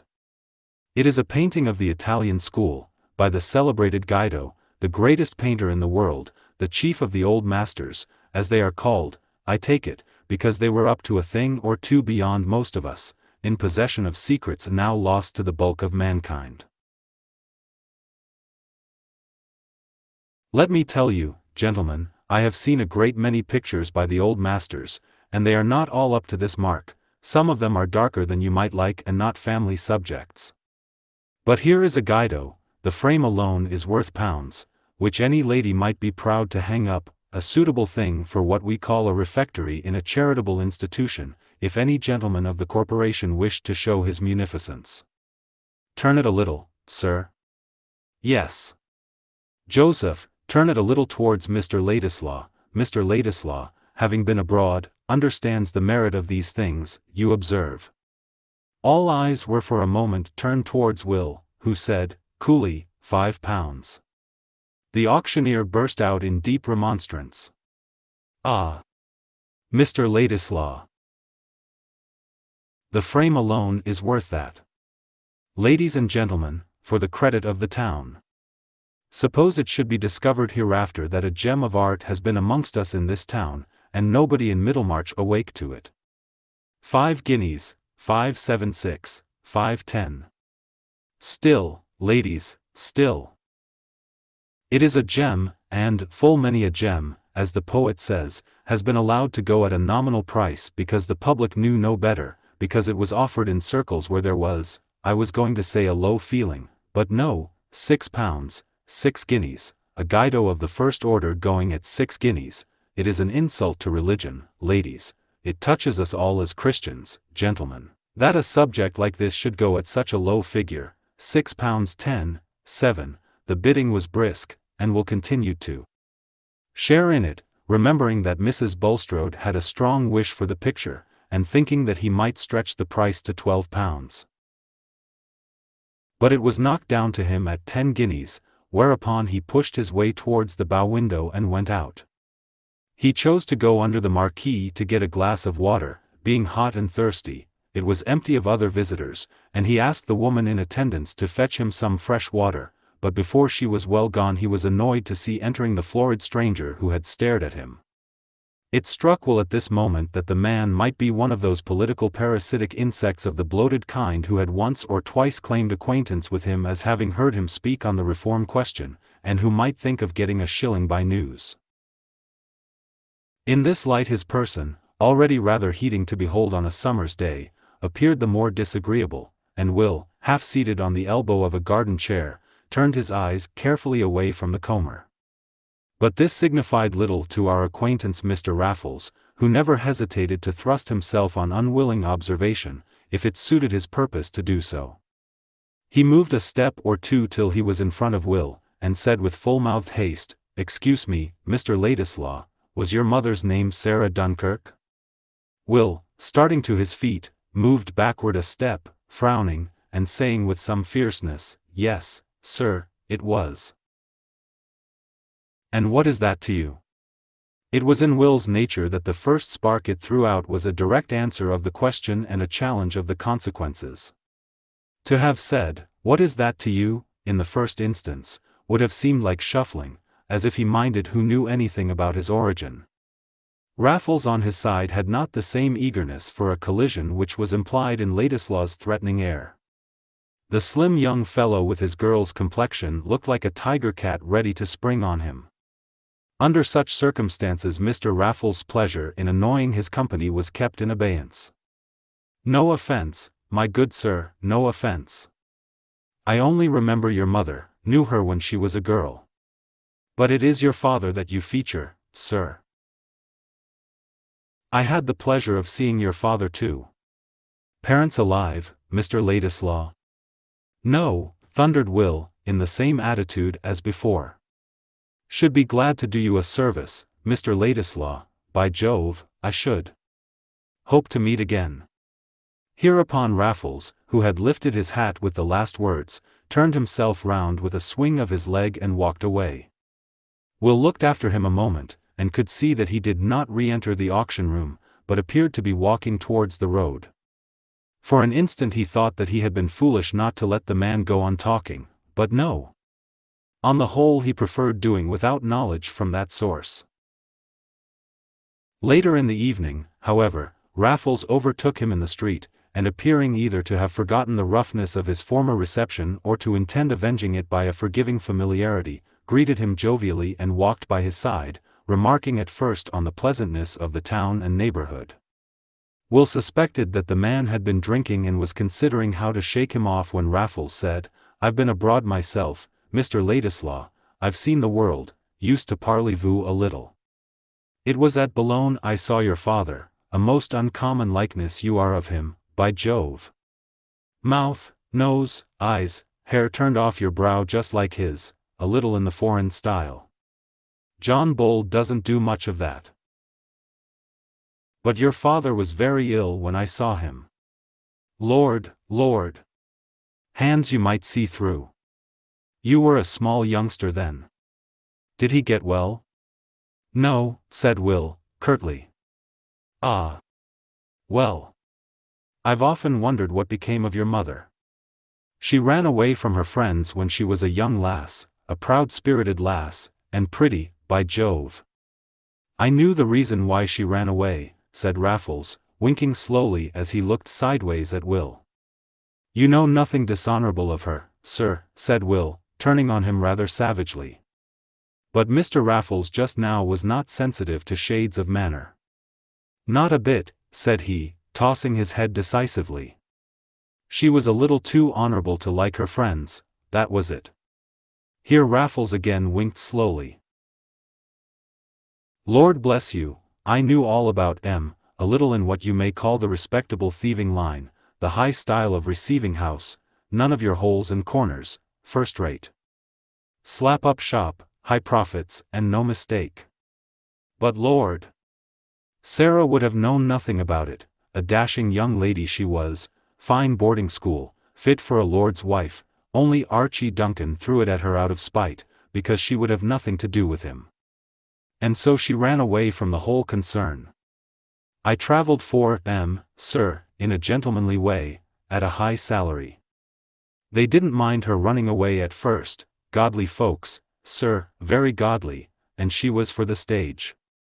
The son was alive then, and the daughter was at a discount. Hello. Here we are at the Blue Bull. What do you say, Mr. Ladislaw, shall we turn in and have a glass? No, I must say good evening, said Will, dashing up a passage which led into Lowick Gate, and almost running to get out of Raffles' reach. He walked along while on the Lowick road away from the town, glad of the starlit darkness when it came. He felt as if he had had dirt cast on him amidst shouts of scorn. There was this to confirm the fellow's statement, that his mother never would tell him the reason why she had run away from her family. Well. What was he, Will Ladislaw, the worse, supposing the truth about that family to be the ugliest? His mother had braved hardship in order to separate herself from it. But if Dorothea's friends had known this story, if the Chettams had known it, they would have had a fine color to give their suspicions a welcome ground for thinking him unfit to come near her. However, let them suspect what they pleased, they would find themselves in the wrong. They would find out that the blood in his veins was as free from the taint of meanness as theirs. Chapter 61 Inconsistencies, answered Imlac, cannot both be right, but imputed to man they may both be true. Rasselas. The same night, when Mr. Bulstrode returned from a journey to Brassing on business, his good wife met him in the entrance hall and drew him into his private sitting room. Nicholas, she said, fixing her honest eyes upon him anxiously, there has been such a disagreeable man here asking for you, it has made me quite uncomfortable. What kind of man, my dear, said Mr. Bulstrode, dreadfully certain of the answer. A red-faced man with large whiskers, and most impudent in his manner. He declared he was an old friend of yours, and said you would be sorry not to see him. He wanted to wait for you here, but I told him he could see you at the bank tomorrow morning. Most impudent he was, stared at me, and said his friend Nick had luck in wives. I don't believe he would have gone away, if Blucher had not happened to break his chain and come running round on the gravel, for I was in the garden, so I said, You'd better go away, the dog is very fierce, and I can't hold him. Do you really know anything of such a man? I believe I know who he is, my dear, said Mr. Bulstrode, in his usual subdued voice, an unfortunate dissolute wretch, whom I helped too much in days gone by. However, I presume you will not be troubled by him again. He will probably come to the bank, to beg, doubtless. No more was said on the subject until the next day, when Mr. Bulstrode had returned from the town and was dressing for dinner. His wife, not sure that he was come home, looked into his dressing room and saw him with his coat and cravat off, leaning one arm on a chest of drawers and staring absently at the ground. He started nervously and looked up as she entered. You look very ill, Nicholas. Is there anything the matter? I have a good deal of pain in my head, said Mr. Bulstrode, who was so frequently ailing that his wife was always ready to believe in this cause of depression. Sit down and let me sponge it with vinegar. Physically Mr. Bulstrode did not want the vinegar, but morally the affectionate attention soothed him. Though always polite, it was his habit to receive such services with marital coolness, as his wife's duty. But today, while she was bending over him, he said, You are very good, Harriet, in a tone which had something new in it to her ear, she did not know exactly what the novelty was, but her woman's solicitude shaped itself into a darting thought that he might be going to have an illness. Has anything worried you? she said. Did that man come to you at the bank? Yes, it was as I had supposed. He is a man who at one time might have done better. But he has sunk into a drunken debauched creature. Is he quite gone away? said Mrs. Bulstrode, anxiously, but for certain reasons she refrained from adding, it was very disagreeable to hear him calling himself a friend of yours. At that moment she would not have liked to say anything which implied her habitual consciousness that her husband's earlier connections were not quite on a level with her own. Not that she knew much about them. That her husband had at first been employed in a bank, that he had afterwards entered into what he called city business and gained a fortune before he was three and thirty, that he had married a widow who was much older than himself, a dissenter, and in other ways probably of that disadvantageous quality usually perceptible in a first wife if inquired into with the dispassionate judgment of a second, was almost as much as she had cared to learn beyond the glimpses which Mr. Bulstrode's narrative occasionally gave of his early bent towards religion, his inclination to be a preacher, and his association with missionary and philanthropic efforts. She believed in him as an excellent man whose piety carried a peculiar eminence in belonging to a layman, whose influence had turned her own mind towards seriousness, and whose share of perishable good had been the means of raising her own position. But she also liked to think that it was well in every sense for Mr. Bulstrode to have won the hand of Harriet Vincy, whose family was undeniable in a Middlemarch light, a better light surely than any thrown in London thoroughfares or dissenting chapel yards. The unreformed provincial mind distrusted London, and while true religion was everywhere saving, honest Mrs. Bulstrode was convinced that to be saved in the church was more respectable. She so much wished to ignore towards others that her husband had ever been a London dissenter, that she liked to keep it out of sight even in talking to him. He was quite aware of this, indeed in some respects he was rather afraid of this ingenuous wife, whose imitative piety and native worldliness were equally sincere, who had nothing to be ashamed of, and whom he had married out of a thorough inclination still subsisting.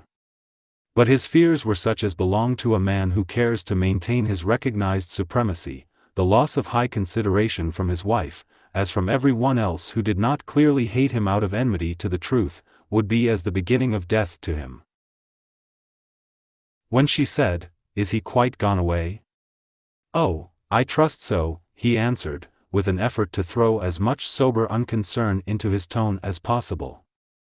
But in truth Mr. Bulstrode was very far from a state of quiet trust. In the interview at the bank, Raffles had made it evident that his eagerness to torment was almost as strong in him as any other greed. He had frankly said that he had turned out of the way to come to Middlemarch, just to look about him and see whether the neighborhood would suit him to live in. He had certainly had a few debts to pay more than he expected, but the two hundred pounds were not gone yet, a cool five and twenty would suffice him to go away with for the present. What he had wanted chiefly was to see his friend Nick and family, and know all about the prosperity of a man to whom he was so much attached. By and by he might come back for a longer stay. This time Raffles declined to be seen off the premises, as he expressed it, declined to quit Middlemarch under Bulstrode's eyes. He meant to go by coach the next day, if he chose. Bulstrode felt himself helpless. Neither threats nor coaxing could avail, he could not count on any persistent fear nor on any promise. On the contrary, he felt a cold certainty at his heart that Raffles, unless Providence sent death to hinder him, would come back to Middlemarch before long. And that certainty was a terror. It was not that he was in danger of legal punishment or of beggary, he was in danger only of seeing disclosed to the judgment of his neighbors and the mournful perception of his wife certain facts of his past life which would render him an object of scorn and an opprobrium of the religion with which he had diligently associated himself. The terror of being judged sharpens the memory, it sends an inevitable glare over that long unvisited past which has been habitually recalled only in general phrases. Even without memory, the life is bound into one by a zone of dependence in growth and decay, but intense memory forces a man to own his blameworthy past. With memory set smarting like a reopened wound, a man's past is not simply a dead history, an outworn preparation of the present, it is not a repented error shaken loose from the life, it is a still quivering part of himself, bringing shudders and bitter flavors and the tinglings of a merited shame. Into this second life Bulstrode's past had now risen, only the pleasures of it seeming to have lost their quality. Night and day, without interruption save of brief sleep which only wove retrospect and fear into a fantastic present, he felt the scenes of his earlier life coming between him and everything else, as obstinately as when we look through the window from a lighted room, the objects we turn our backs on are still before us, instead of the grass and the trees. The successive events inward and outward were there in one view, though each might be dwelt on in turn, the rest still kept their hold in the consciousness. Once more he saw himself the young banker's clerk, with an agreeable person, as clever in figures as he was fluent in speech and fond of theological definition, an eminent though young member of a Calvinistic dissenting church at Highbury, having had striking experience in conviction of sin and sense of pardon. Again he heard himself called for as Brother Bulstrode in prayer meetings, speaking on religious platforms, preaching in private houses. Again he felt himself thinking of the ministry as possibly his vocation, and inclined towards missionary labor. That was the happiest time of his life, that was the spot he would have chosen now to awake in and find the rest a dream. The people among whom Brother Bulstrode was distinguished were very few, but they were very near to him, and stirred his satisfaction the more, his power stretched through a narrow space, but he felt its effect the more intensely. He believed without effort in the peculiar work of grace within him, and in the signs that God intended him for special instrumentality. Then came the moment of transition, it was with the sense of promotion he had when he, an orphan educated at a commercial charity school, was invited to a fine villa belonging to Mr. Dunkirk, the richest man in the congregation. Soon he became an intimate there, honored for his piety by the wife, marked out for his ability by the husband, whose wealth was due to a flourishing city in West End trade. That was the setting in of a new current for his ambition, directing his prospects of instrumentality towards the uniting of distinguished religious gifts with successful business. By and by came a decided external leading, a confidential subordinate partner died, and nobody seemed to the principal so well fitted to fill the severely felt vacancy as his young friend Bulstrode, if he would become confidential accountant. The offer was accepted. The business was a pawnbroker's, of the most magnificent sort both in extent and profits, and on a short acquaintance with it Bulstrode became aware that one source of magnificent profit was the easy reception of any goods offered, without strict inquiry as to where they came from. But there was a branch house at the West End, and no pettiness or dinginess to give suggestions of shame. He remembered his first moments of shrinking. They were private, and were filled with arguments, some of these taking the form of prayer. The business was established and had old roots, is it not one thing to set up a new gin palace and another to accept an investment in an old one? The profits made out of lost souls, where can the line be drawn at which they begin in human transactions? Was it not even God's way of saving his chosen? Thou knowest, the young Bulstrode had said then, as the older Bulstrode was saying now, Thou knowest how loose my soul sits from these things, how I view them all as implements for tilling thy garden rescued here and there from the wilderness. Metaphors and precedents were not wanting, peculiar spiritual experiences were not wanting which at last made the retention of his position seem a service demanded of him, the vista of a fortune had already opened itself, and Bulstrode's shrinking remained private. Mr. Dunkirk had never expected that there would be any shrinking at all, he had never conceived that trade had anything to do with the scheme of salvation. And it was true that Bulstrode found himself carrying on two distinct lives, his religious activity could not be incompatible with his business as soon as he had argued himself into not feeling it incompatible.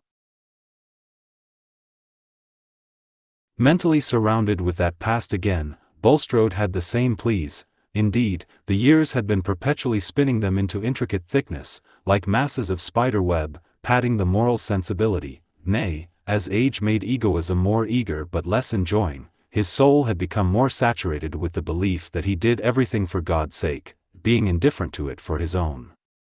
And yet, if he could be back in that far off spot with his youthful poverty, why, then he would choose to be a missionary but the train of causes in which he had locked himself went on. There was trouble in the fine villa at Highbury. Years before, the only daughter had run away, defied her parents, and gone on the stage, and now the only boy died, and after a short time Mr. Dunkirk died also. The wife, a simple pious woman, left with all the wealth in and out of the magnificent trade, of which she never knew the precise nature, had come to believe in Bulstrode, and innocently adore him as women often adore their priest or man-made minister. It was natural that after a time marriage should have been thought of between them. But Mrs. Dunkirk had qualms and yearnings about her daughter, who had long been regarded as lost both to God and her parents. It was known that the daughter had married, but she was utterly gone out of sight. The, the mother, having lost her boy, imagined a grandson, and wished in a double sense to reclaim her daughter. If she were found, there would be a channel for property, perhaps a wide one, in the provision for several grandchildren. Efforts to find her must be made before Mrs. Dunkirk would marry again. Bulstrode concurred, but after advertisement as well as other modes of inquiry had been tried, the mother believed that her daughter was not to be found, and consented to marry without reservation of property.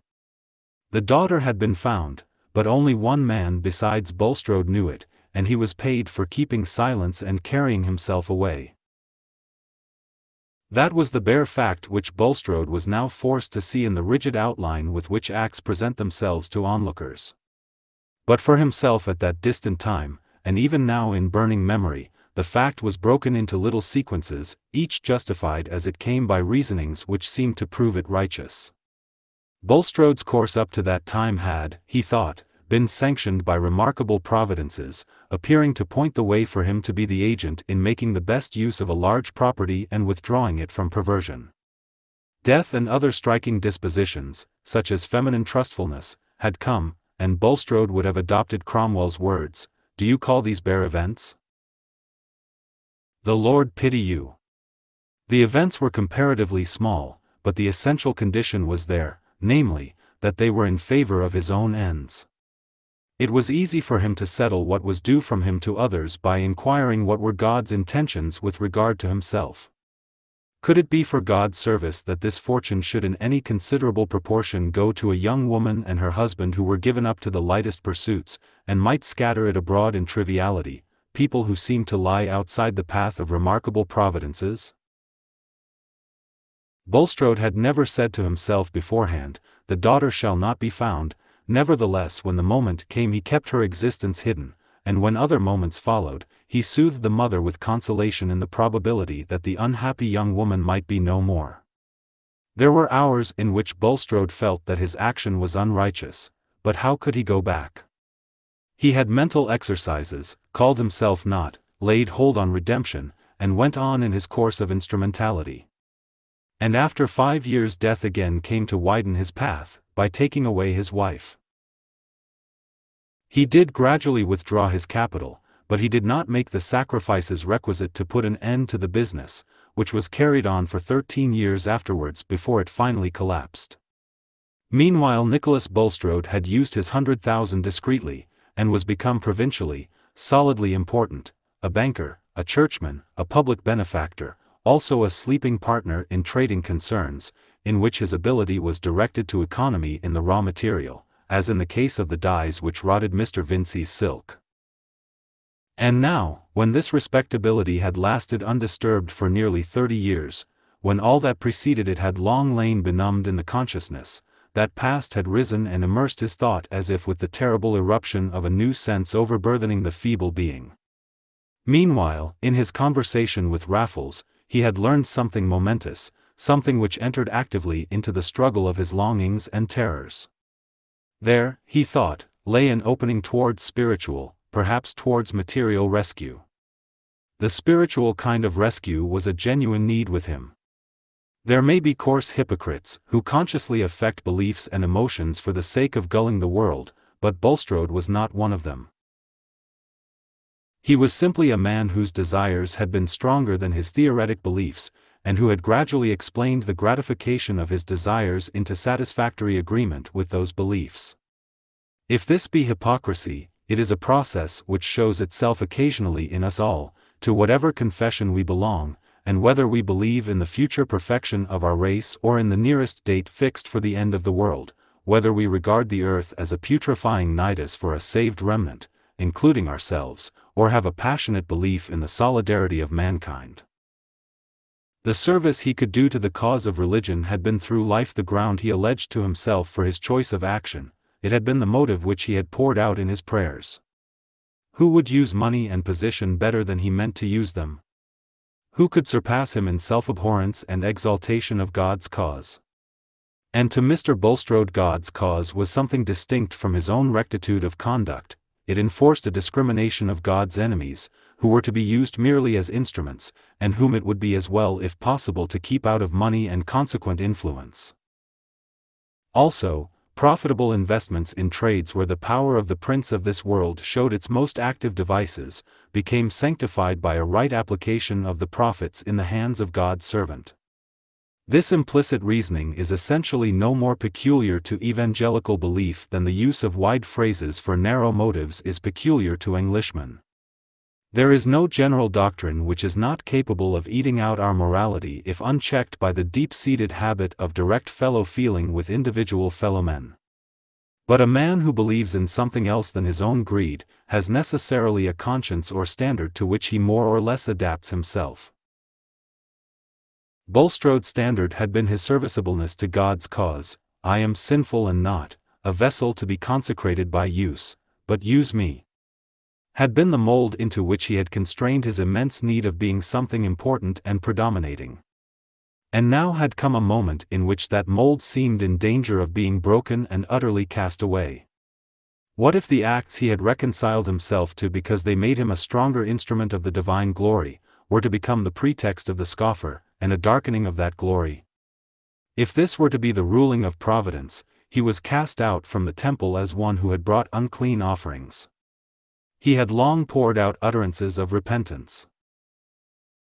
But today a repentance had come which was of a bitterer flavor, and a threatening providence urged him to a kind of propitiation which was not simply a doctrinal transaction. The divine tribunal had changed its aspect for him, self-prostration was no longer enough, and he must bring restitution in his hand.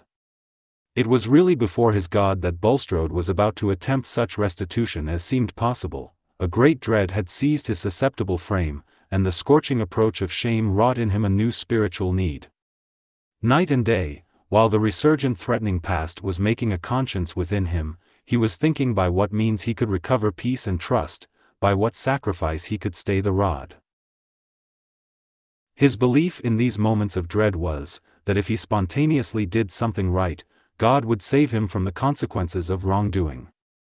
For religion can only change when the emotions which fill it are changed, and the religion of personal fear remains nearly at the level of the savage. He had seen Raffles actually going away on the Brassing coach, and this was a temporary relief, it removed the pressure of an immediate dread, but did not put an end to the spiritual conflict and the need to win protection. At last he came to a difficult resolve, and wrote a letter to Will Ladislaw, begging him to be at the shrubs that evening for a private interview at nine o'clock. Will had felt no particular surprise at the request, and connected it with some new notions about the pioneer, but when he was shown into Mr. Bulstrode's private room, he was struck with the painfully worn look on the banker's face, and was going to say, Are you ill? when, checking himself in that abruptness, he only inquired after Mrs. Bulstrode, and her satisfaction with the picture bought for her. Thank you, she is quite satisfied, she has gone out with her daughters this evening. I begged you to come, Mr. Ladislaw, because I have a communication of a very private, indeed, I will say, of a sacredly confidential nature, which I desire to make to you. Nothing, I dare say, has been farther from your thoughts than that there had been important ties in the past which could connect your history with mine. Will felt something like an electric shock. He was already in a state of keen sensitiveness and hardly allayed agitation on the subject of ties in the past, and his presentiments were not agreeable. It seemed like the fluctuations of a dream, as if the action begun by that loud bloated stranger were being carried on by this pale-eyed sickly-looking piece of respectability, whose subdued tone and glib formality of speech were at this moment almost as repulsive to him as their remembered contrast. He answered, with a marked change of color, no, indeed, nothing. You see before you, Mr. Ladislaw, a man who is deeply stricken. But for the urgency of conscience and the knowledge that I am before the bar of one who seeth not as man seeth, I should be under no compulsion to make the disclosure which has been my object in asking you to come here tonight. So far as human laws go, you have no claim on me whatever. Will was even more uncomfortable than wondering. Mr. Bulstrode had paused, leaning his head on his hand, and looking at the floor. But he now fixed his examining glance on Will and said, I am told that your mother's name was Sarah Dunkirk, and that she ran away from her friends to go on the stage. Also, that your father was at one time much emaciated by illness. May I ask if you can confirm these statements? Yes, they are all true, said Will, struck with the order in which an inquiry had come, that might have been expected to be preliminary to the banker's previous hints. But Mr. Bulstrode had tonight followed the order of his emotions, he entertained no doubt that the opportunity for restitution had come, and he had an overpowering impulse towards the penitential expression by which he was deprecating chastisement. Do you know any particulars of your mother's family? he continued. No, she never liked to speak of them. She was a very generous, honorable woman, said Will, almost angrily. I do not wish to allege anything against her. Did she never mention her mother to you at all? I have heard her say that she thought her mother did not know the reason of her running away. She said, Poor mother, in a pitying tone. That mother became my wife, said Bulstrode, and then paused a moment before he added, You have a claim on me, Mr. Ladislaw, as I said before, not a legal claim, but one which my conscience recognizes. I was enriched by that marriage, a result which would probably not have taken place, certainly not to the same extent, if your grandmother could have discovered her daughter. That daughter, I gather, is no longer living. No, said Will, feeling suspicion and repugnance rising so strongly within him, that without quite knowing what he did, he took his hat from the floor and stood up. The impulse within him was to reject the disclosed connection.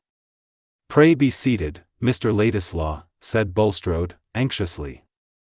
Doubtless you are startled by the suddenness of this discovery. But I entreat your patience with one who is already bowed down by inward trial. Will reseated himself, feeling some pity which was half contempt for this voluntary self-abasement of an elderly man. It is my wish, Mr. Ladislaw, to make amends for the deprivation which befell your mother.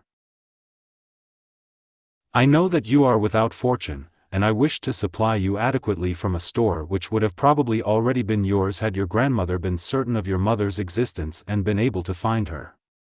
Mr. Bulstrode paused.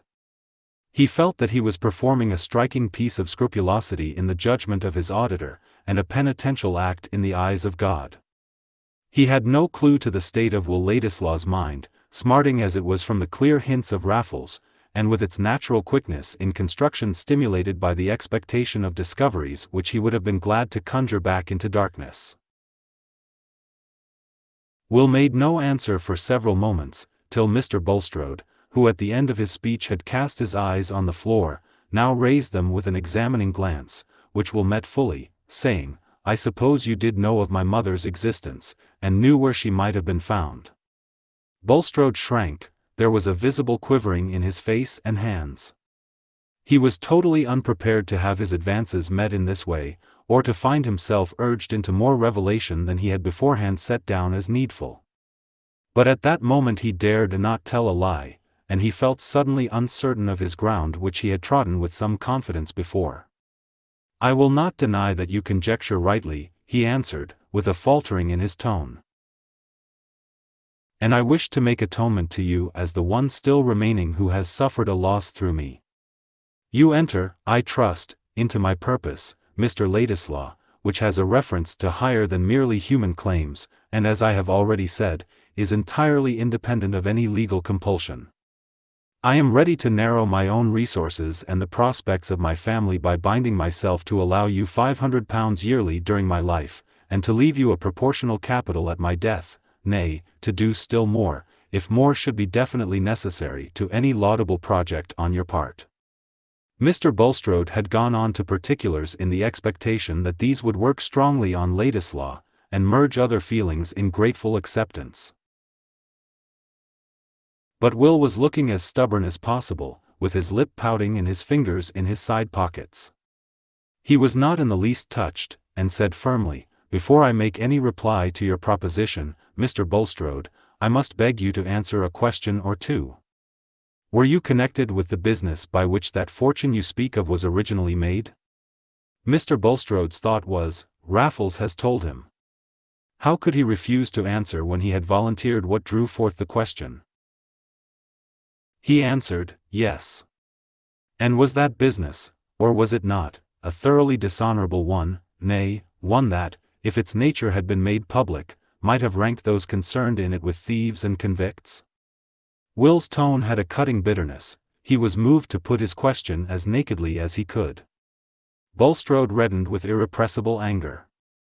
He had been prepared for a scene of self-abasement, but his intense pride and his habit of supremacy overpowered penitence, and even dread, when this young man, whom he had meant to benefit, turned on him with the air of a judge. The business was established before I became connected with it, sir, nor is it for you to institute an inquiry of that kind, he answered, not raising his voice, but speaking with quick defiantness. Yes, it is, said Will, starting up again with his hat in his hand. It is eminently mine to ask such questions, when I have to decide whether I will have transactions with you and accept your money. My unblemished honor is important to me. It is important to me to have no stain on my birth and connections. And now I find there is a stain which I can't help. My mother felt it, and tried to keep as clear of it as she could, and so will I. You shall keep your ill-gotten money. If I had any fortune of my own, I would willingly pay it to anyone who could disprove what you have told me. What I have to thank you for is that you kept the money till now, when I can refuse it. It ought to lie with a man's self that he is a gentleman. Good night, sir. Bulstrode was going to speak, but Will, with determined quickness, was out of the room in an instant, and in another the hall door had closed behind him. He was too strongly possessed with passionate rebellion against this inherited blot which had been thrust on his knowledge to reflect at present whether he had not been too hard on Bulstrode, too arrogantly merciless towards a man of sixty, who was making efforts at retrieval when time had rendered them vain. No third person listening could have thoroughly understood the impetuosity of Will's repulse or the bitterness of his words.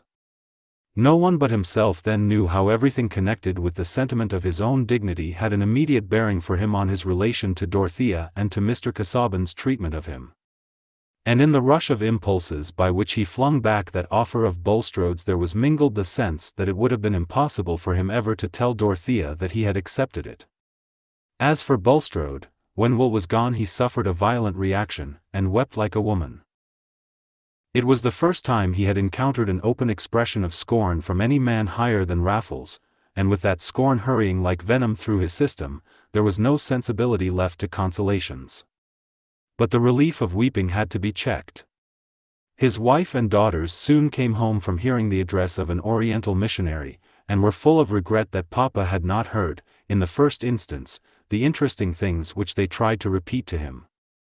Perhaps, through all other hidden thoughts, the one that breathed most comfort was, that Will Ladislaw at least was not likely to publish what had taken place that evening. Chapter 62 He was a squire of Low Degree, that loved the king's daughter of Hungary. Old Romance Will Ladislaw's mind was now wholly bent on seeing Dorothea again, and forthwith quitting Middlemarch. The morning after his agitating scene with Bulstrode he wrote a brief letter to her, saying that various causes had detained him in the neighborhood longer than he had expected, and asking her permission to call again at Lowick at some hour which she would mention on the earliest possible day, he being anxious to depart, but unwilling to do so until she had granted him an interview. He left the letter at the office, ordering the messenger to carry it to Lowick Manor, and wait for an answer. Ladislaw felt the awkwardness of asking for more last words. His former farewell had been made in the hearing of Sir James Chettam, and had been announced as final even to the butler. It is certainly trying to a man's dignity to reappear when he is not expected to do so, a first farewell has pathos in it, but to come back for a second lends an opening to comedy, and it was possible even that there might be bitter sneers afloat about Will's motives for lingering. Still it was on the whole more satisfactory to his feeling to take the directest means of seeing Dorothea, than to use any device which might give an air of chance to a meeting of which he wished her to understand that it was what he earnestly sought. When he had parted from her before, he had been in ignorance of facts which gave a new aspect to the relation between them, and made a more absolute severance than he had then believed in.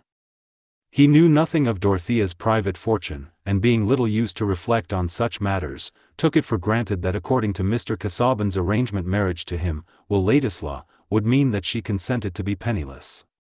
That was not what he could wish for even in his secret heart, or even if she had been ready to meet such hard contrast for his sake.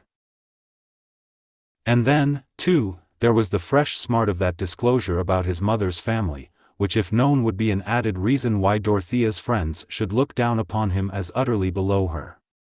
The secret hope that after some years he might come back with the sense that he had at least a personal value equal to her wealth, seemed now the dreamy continuation of a dream. This change would surely justify him in asking Dorothea to receive him once more. But Dorothea on that morning was not at home to receive Will's note. In consequence of a letter from her uncle announcing his intention to be at home in a week, she had driven first to Freshitt to carry the news, meaning to go on to the Grange to deliver some orders with which her uncle had entrusted her, thinking, as he said, a little mental occupation of this sort good for a widow.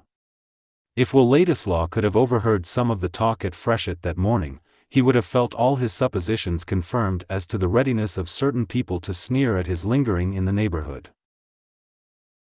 Sir James, indeed, though much relieved concerning Dorothea, had been on the watch to learn Ladislaw's movements, and had an instructed informant in Mr. Standish, who was necessarily in his confidence on this matter. That Ladislaw had stayed in Middlemarch nearly two months after he had declared that he was going immediately, was a fact to embitter Sir James's suspicions, or at least to justify his aversion to a young fellow whom he represented to himself as slight, volatile, and likely enough to show such recklessness as naturally went along with a position unriveted by family ties or a strict profession. But he had just heard something from Standish which, while it justified these surmises about Will, offered a means of nullifying all danger with regard to Dorothea. Unwanted circumstances may make us all rather unlike ourselves, there are conditions under which the most majestic person is obliged to sneeze, and our emotions are liable to be acted on in the same incongruous manner. Good Sir James was this morning so far unlike himself that he was irritably anxious to say something to Dorothea on a subject which he usually avoided as if it had been a matter of shame to them both. He could not use Celia as a medium, because he did not choose that she should know the kind of gossip he had in his mind, and before Dorothea happened to arrive he had been trying to imagine how, with his shyness and unready tongue, he could ever manage to introduce his communication. Her unexpected presence brought him to utter hopelessness in his own power of saying anything unpleasant, but desperation suggested a resource. He sent the groom on an unsaddled horse across the park with a penciled note to Mrs. Cadwallader, who already knew the gossip, and would think it no compromise of herself to repeat it as often as required. Dorothea was detained on the good pretext that Mr. Garth, whom she wanted to see, was expected at the hall within the hour, and she was still talking to Caleb on the gravel when Sir James, on the watch for the rector's wife, saw her coming and met her with the needful hints. Enough. I understand, said Mrs. Cadwallader. You shall be innocent. I am such a blackamoor that I cannot smirch myself. I don't mean that it's of any consequence, said Sir James, disliking that Mrs. Cadwallader should understand too much. Only it is desirable that Dorothea should know there are reasons why she should not receive him again, and I really can't say so to her. It will come lightly from you. It came very lightly indeed. When Dorothea quitted Caleb and turned to meet them, it appeared that Mrs. Cadwallader had stepped across the park by the merest chance in the world, just to chat with Celia in a matronly way about the baby. And so Mr. Brooke was coming back. Delightful, coming back, it was to be hoped, quite cured of parliamentary fever and pioneering. Apropos of the pioneer, somebody had prophesied that it would soon be like a dying dolphin, and turn all colors for want of knowing how to help itself, because Mr. Brooke's protege, the brilliant young Ladislaw, was gone or going. Had Sir James heard that? The three were walking along the gravel slowly, and Sir James, turning aside to whip a shrub, said he had heard something of that sort. All false, said Mrs. Cadwallader. He is not gone, or going, apparently, the Pioneer keeps its color, and Mr. Orlando Ladislaw is making a sad dark blue scandal by warbling continually with your Mr. Lydgate's wife, who they tell me is as pretty as pretty can be. It seems nobody ever goes into the house without finding this young gentleman lying on the rug or warbling at the piano. But the people in manufacturing towns are always disreputable. You began by saying that one report was false, Mrs. Cadwallader, and I believe this is false too, said Dorothea, with indignant energy, at least, I feel sure it is a misrepresentation. I will not hear any evil spoken of Mr. Ladislaw, he has already suffered too much injustice. Dorothea when thoroughly moved cared little what any one thought of her feelings, and even if she had been able to reflect, she would have held it petty to keep silence at injurious words about Will from fear of being herself misunderstood. Her face was flushed and her lip trembled. Sir James, glancing at her, repented of his stratagem, but Mrs. Cadwallader, equal to all occasions, spread the palms of her hands outward and said, Heaven granted, my dear, I mean that all bad tales about anybody may be false. But it is a pity that young Lydgate should have married one of these Middlemarch girls. Considering he's a son of somebody, he might have got a woman with good blood in her veins, and not too young, who would have put up with his profession. There's Clara Harfager, for instance, whose friends don't know what to do with her, and she has a portion. Then we might have had her among us. However, it's no use being wise for other people. Where is Celia? Pray let us go in. I am going on immediately to Tipton, said Dorothea, rather haughtily. Goodbye. Sir James could say nothing as he accompanied her to the carriage. He was altogether discontented with the result of a contrivance which had cost him some secret humiliation beforehand. Dorothea drove along between the buried hedgerows and the shorn cornfields, not seeing or hearing anything around. The tears came and rolled down her cheeks, but she did not know it. The world, it seemed, was turning ugly and hateful, and there was no place for her trustfulness. It is not true, it is not true, was the voice within her that she listened to, but all the while a remembrance to which there had always clung a vague uneasiness would thrust itself on her attention, the remembrance of that day when she had found Will Ladislaw with Mrs. Lydgate, and had heard his voice accompanied by the piano. He said he would never do anything that I disapproved, I wish I could have told him that I disapproved of that, said poor Dorothea, inwardly, feeling a strange alternation between anger with Will and the passionate defense of him. They all try to blacken him before me, but I will care for no pain, if he is not to blame. I always believed he was good. These were her last thoughts before she felt that the carriage was passing under the archway of the lodge gate at the Grange, when she hurriedly pressed her handkerchief to her face and began to think of her errands. The coachman begged leave to take out the horses for half an hour as there was something wrong with a shoe, and Dorothea, having the sense that she was going to rest, took off her gloves and bonnet, while she was leaning against a statue in the entrance hall, and talking to the housekeeper. At last she said, I must stay here a little, Mrs. Kell. I will go into the library and write you some memoranda from my uncle's letter, if you will open the shutters for me. The shutters are open, madam, said Mrs. Kell, following Dorothea, who had walked along as she spoke. Mr. Ladislaw is there, looking for something. Will had come to fetch a portfolio of his own sketches which he had missed in the act of packing his movables, and did not choose to leave behind. Dorothea's heart seemed to turn over as if it had had a blow, but she was not perceptibly checked, in truth, the sense that Will was there was for the moment all satisfying to her, like the sight of something precious that one has lost. When she reached the door she said to Mrs. Kell, go in first, and tell him that I am here. Will had found his portfolio, and had laid it on the table at the far end of the room, to turn over the sketches and please himself by looking at the memorable piece of art which had a relation to nature too mysterious for Dorothea. He was smiling at it still, and shaking the sketches into order with the thought that he might find a letter from her awaiting him at Middlemarch, when Mrs. Kell close to his elbow said, Mrs. Casaubon is coming in, sir. Will turned round quickly, and the next moment Dorothea was entering. As Mrs. Kell closed the door behind her they met, each was looking at the other, and consciousness was overflowed by something that suppressed utterance. It was not confusion that kept them silent, for they both felt that parting was near, and there is no shamefacedness in a sad parting. She moved automatically towards her uncle's chair against the writing table, and Will, after drawing it out a little for her, went a few paces off and stood opposite to her.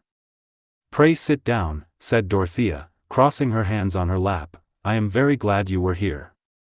Will thought that her face looked just as it did when she first shook hands with him in Rome, for her widow's cap, fixed in her bonnet, had gone off with it, and he could see that she had lately been shedding tears. But the mixture of anger in her agitation had vanished at the sight of him, she had been used, when they were face to face, always to feel confidence and the happy freedom which comes with mutual understanding, and how could other people's words hinder that effect on a sudden? Let the music which can take possession of our frame and fill the air with joy for us, sound once more, what does it signify that we heard it found fault with in its absence? I have sent a letter to Lowick Manor today, asking leave to see you, said Will, seating himself opposite to her. I am going away immediately, and I could not go without speaking to you again. I thought we had parted when you came to Lowick many weeks ago, you thought you were going then, said Dorothea, her voice trembling a little. Yes, but I was in ignorance then of things which I know now, things which have altered my feelings about the future. When I saw you before, I was dreaming that I might come back some day. I don't think I ever shall, now. Will paused here. You wished me to know the reasons, said Dorothea, timidly. Yes, said Will, impetuously, shaking his head backward, and looking away from her with irritation in his face. Of course I must wish it. I have been grossly insulted in your eyes and in the eyes of others. There has been a mean implication against my character. I wish you to know that under no circumstances would I have lowered myself by, under no circumstances would I have given men the chance of saying that I sought money under the pretext of seeking something else. There was no need of other safeguard against me, the safeguard of wealth was enough. Will rose from his chair with the last word and went, he hardly knew where, but it was to the projecting window nearest him, which had been open as now about the same season a year ago, when he and Dorothea had stood within it and talked together. Her whole heart was going out at this moment in sympathy with Will's indignation, she only wanted to convince him that she had never done him injustice, and he seemed to have turned away from her as if she too had been part of the unfriendly world. It would be very unkind of you to suppose that I ever attributed any meanness to you, she began. Then in her ardent way, wanting to plead with him, she moved from her chair and went in front of him to her old place in the window, saying, Do you suppose that I ever disbelieved in you? When Will saw her there, he gave a start and moved backward out of the window, without meeting her glance. Dorothea was hurt by this movement following up the previous anger of his tone. She was ready to say that it was as hard on her as on him, and that she was helpless, but those strange particulars of their relation which neither of them could explicitly mention kept her always in dread of saying too much. At this moment she had no belief that Will would in any case have wanted to marry her, and she feared using words which might imply such a belief. She only said earnestly, recurring to his last word, I am sure no safeguard was ever needed against you. Will did not answer. In the stormy fluctuation of his feelings these words of hers seemed to him cruelly neutral, and he looked pale and miserable after his angry outburst. He went to the table and fastened up his portfolio, while Dorothea looked at him from the distance. They were wasting these last moments together in wretched silence. What could he say, since what had got obstinately uppermost in his mind was the passionate love for her which he forbade himself to utter. What could she say, since she might offer him no help, since she was forced to keep the money that ought to have been his, since today he seemed not to respond as he used to do to her thorough trust and liking. But Will at last turned away from his portfolio and approached the window again. I must go, he said, with that peculiar look of the eyes which sometimes accompanies bitter feeling, as if they had been tired and burned with gazing too close at a light. What shall you do in life? said Dorothea, timidly. Have your intentions remained just the same as when we said goodbye before? Yes, said Will, in a tone that seemed to waive the subject as uninteresting. I shall work away at the first thing that offers. I suppose one gets a habit of doing without happiness or hope. Oh, what sad words, said Dorothea, with a dangerous tendency to sob. Then trying to smile, she added, we used to agree that we were alike in speaking too strongly. I have not spoken too strongly now, said Will, leaning back against the angle of the wall. There are certain things which a man can only go through once in his life, and he must know some time or other that the best is over with him. This experience has happened to me while I am very young, that is all. What I care more for than I can ever care for anything else is absolutely forbidden to me, I don't mean merely by being out of my reach, but forbidden me, even if it were within my reach, by my own pride and honor, by everything I respect myself for. Of course I shall go on living as a man might do who had seen heaven in a trance. Will paused, imagining that it would be impossible for Dorothea to misunderstand this, indeed he felt that he was contradicting himself and offending against his self-approval in speaking to her so plainly, but still, it could not be fairly called wooing a woman to tell her that he would never woo her. It must be admitted to be a ghostly kind of wooing. But Dorothea's mind was rapidly going over the past with quite another vision than his. The thought that she herself might be what Will most cared for did throb through her an instant, but then came doubt, the memory of the little they had lived through together turned pale and shrank before the memory which suggested how much fuller might have been the intercourse between Will and some one else with whom he had had constant companionship. Everything he had said might refer to that other relation, and whatever had passed between him and herself was thoroughly explained by what she had always regarded as their simple friendship and the cruel obstruction thrust upon it by her husband's injurious act. Dorothea stood silent, with her eyes cast down dreamily, while images crowded upon her which left the sickening certainty that Will was referring to Mrs. Lydgate. But why sickening? He wanted her to know that here too his conduct should be above suspicion. Will was not surprised at her silence. His mind also was tumultuously busy while he watched her, and he was feeling rather wildly that something must happen to hinder their parting, some miracle, clearly nothing in their own deliberate speech. Yet, after all, had she any love for him, he could not pretend to himself that he would rather believe her to be without that pain. He could not deny that a secret longing for the assurance that she loved him was at the root of all his words. Neither of them knew how long they stood in that way. Dorothea was raising her eyes, and was about to speak, when the door opened and her footman came to say, the horses are ready, madam, whenever you like to start. Presently, said Dorothea. Then turning to Will, she said, I have some memoranda to write for the housekeeper. I must go, said Will, when the door had closed again, advancing towards her. The day after tomorrow I shall leave Middlemarch. You have acted in every way rightly, said Dorothea, in a low tone, feeling a pressure at her heart which made it difficult to speak. She put out her hand, and Will took it for an instant without speaking, for her words had seemed to him cruelly cold and unlike herself. Their eyes met, but there was discontent in his, and in hers there was only sadness. He turned away and took his portfolio under his arm. I have never done you injustice. Please remember me, said Dorothea, repressing a rising sob. Why should you say that? said Will, with irritation. As if I were not in danger of forgetting everything else. He had really a movement of anger against her at that moment, and it impelled him to go away without pause.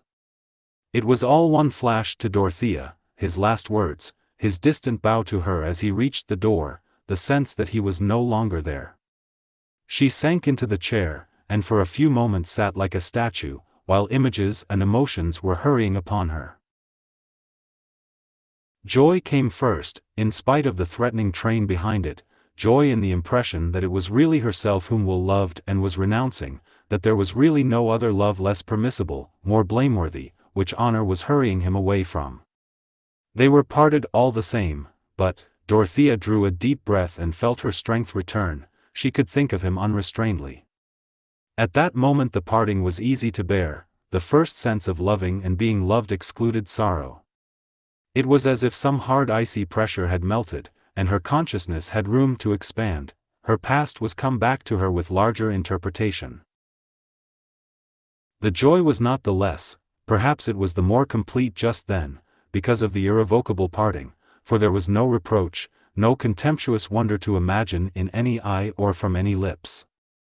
He had acted so as to defy reproach, and make wonder respectful. Anyone watching her might have seen that there was a fortifying thought within her. Just as when inventive power is working with glad ease some small claim on the attention is fully met as if it were only a cranny open to the sunlight, it was easy now for Dorothea to write her memoranda. She spoke her last words to the housekeeper in cheerful tones, and when she seated herself in the carriage her eyes were bright and her cheeks blooming under the dismal bonnet. She threw back the heavy weepers, and looked before her, wondering which road Will had taken. It was in her nature to be proud that he was blameless, and through all her feelings there ran this vein, I was right to defend him. The coachman was used to drive his greys at a good pace, Mr. Casaubon being unenjoying and impatient in everything away from his desk, and wanting to get to the end of all journeys, and Dorothea was now bowled along quickly. Driving was pleasant, for rain in the night had laid the dust, and the blue sky looked far off, away from the region of the great clouds that sailed in masses. The earth looked like a happy place under the vast heavens, and Dorothea was wishing that she might overtake Will and see him once more. After a turn of the road, there he was with the portfolio under his arm, but the next moment she was passing him while he raised his hat, and she felt a pang at being seated there in a sort of exaltation, leaving him behind. She could not look back at him. It was as if a crowd of indifferent objects had thrust them asunder, and forced them along different paths, taking them farther and farther away from each other, and making it useless to look back. She could no more make any sign that would seem to say, Need we part, than she could stop the carriage to wait for him. Nay, what a world of reasons crowded upon her against any movement of her thought towards a future that might reverse the decision of this day. I only wish I had known before, I wish he knew, then we could be quite happy in thinking of each other, though we are forever parted. And if I could but have given him the money, and made things easier for him were the longings that came back the most persistently. And yet, so heavily did the world weigh on her in spite of her independent energy, that with this idea of Will as in need of such help and at a disadvantage with the world, there came always the vision of that unfittingness of any closer relation between them which lay in the opinion of every one connected with her. She, felt to the full all the imperativeness of the motives which urged Will's conduct. How could he dream of her defying the barrier that her husband had placed between them, how could she ever say to herself that she would defy it? Will's certainty as the carriage grew smaller in the distance, had much more bitterness in it. Very slight matters were enough to gall him in his sensitive mood, and the sight of Dorothea driving past him while he felt himself plodding along as a poor devil seeking a position in a world which in his present temper offered him little that he coveted, made his conduct seem a mere matter of necessity, and took away the sustainment of resolve. After all, he had no assurance that she loved him, could any man pretend that he was simply glad in such a case to have the suffering all on his own side? That evening was spent with the Lydgates, the next evening he was gone.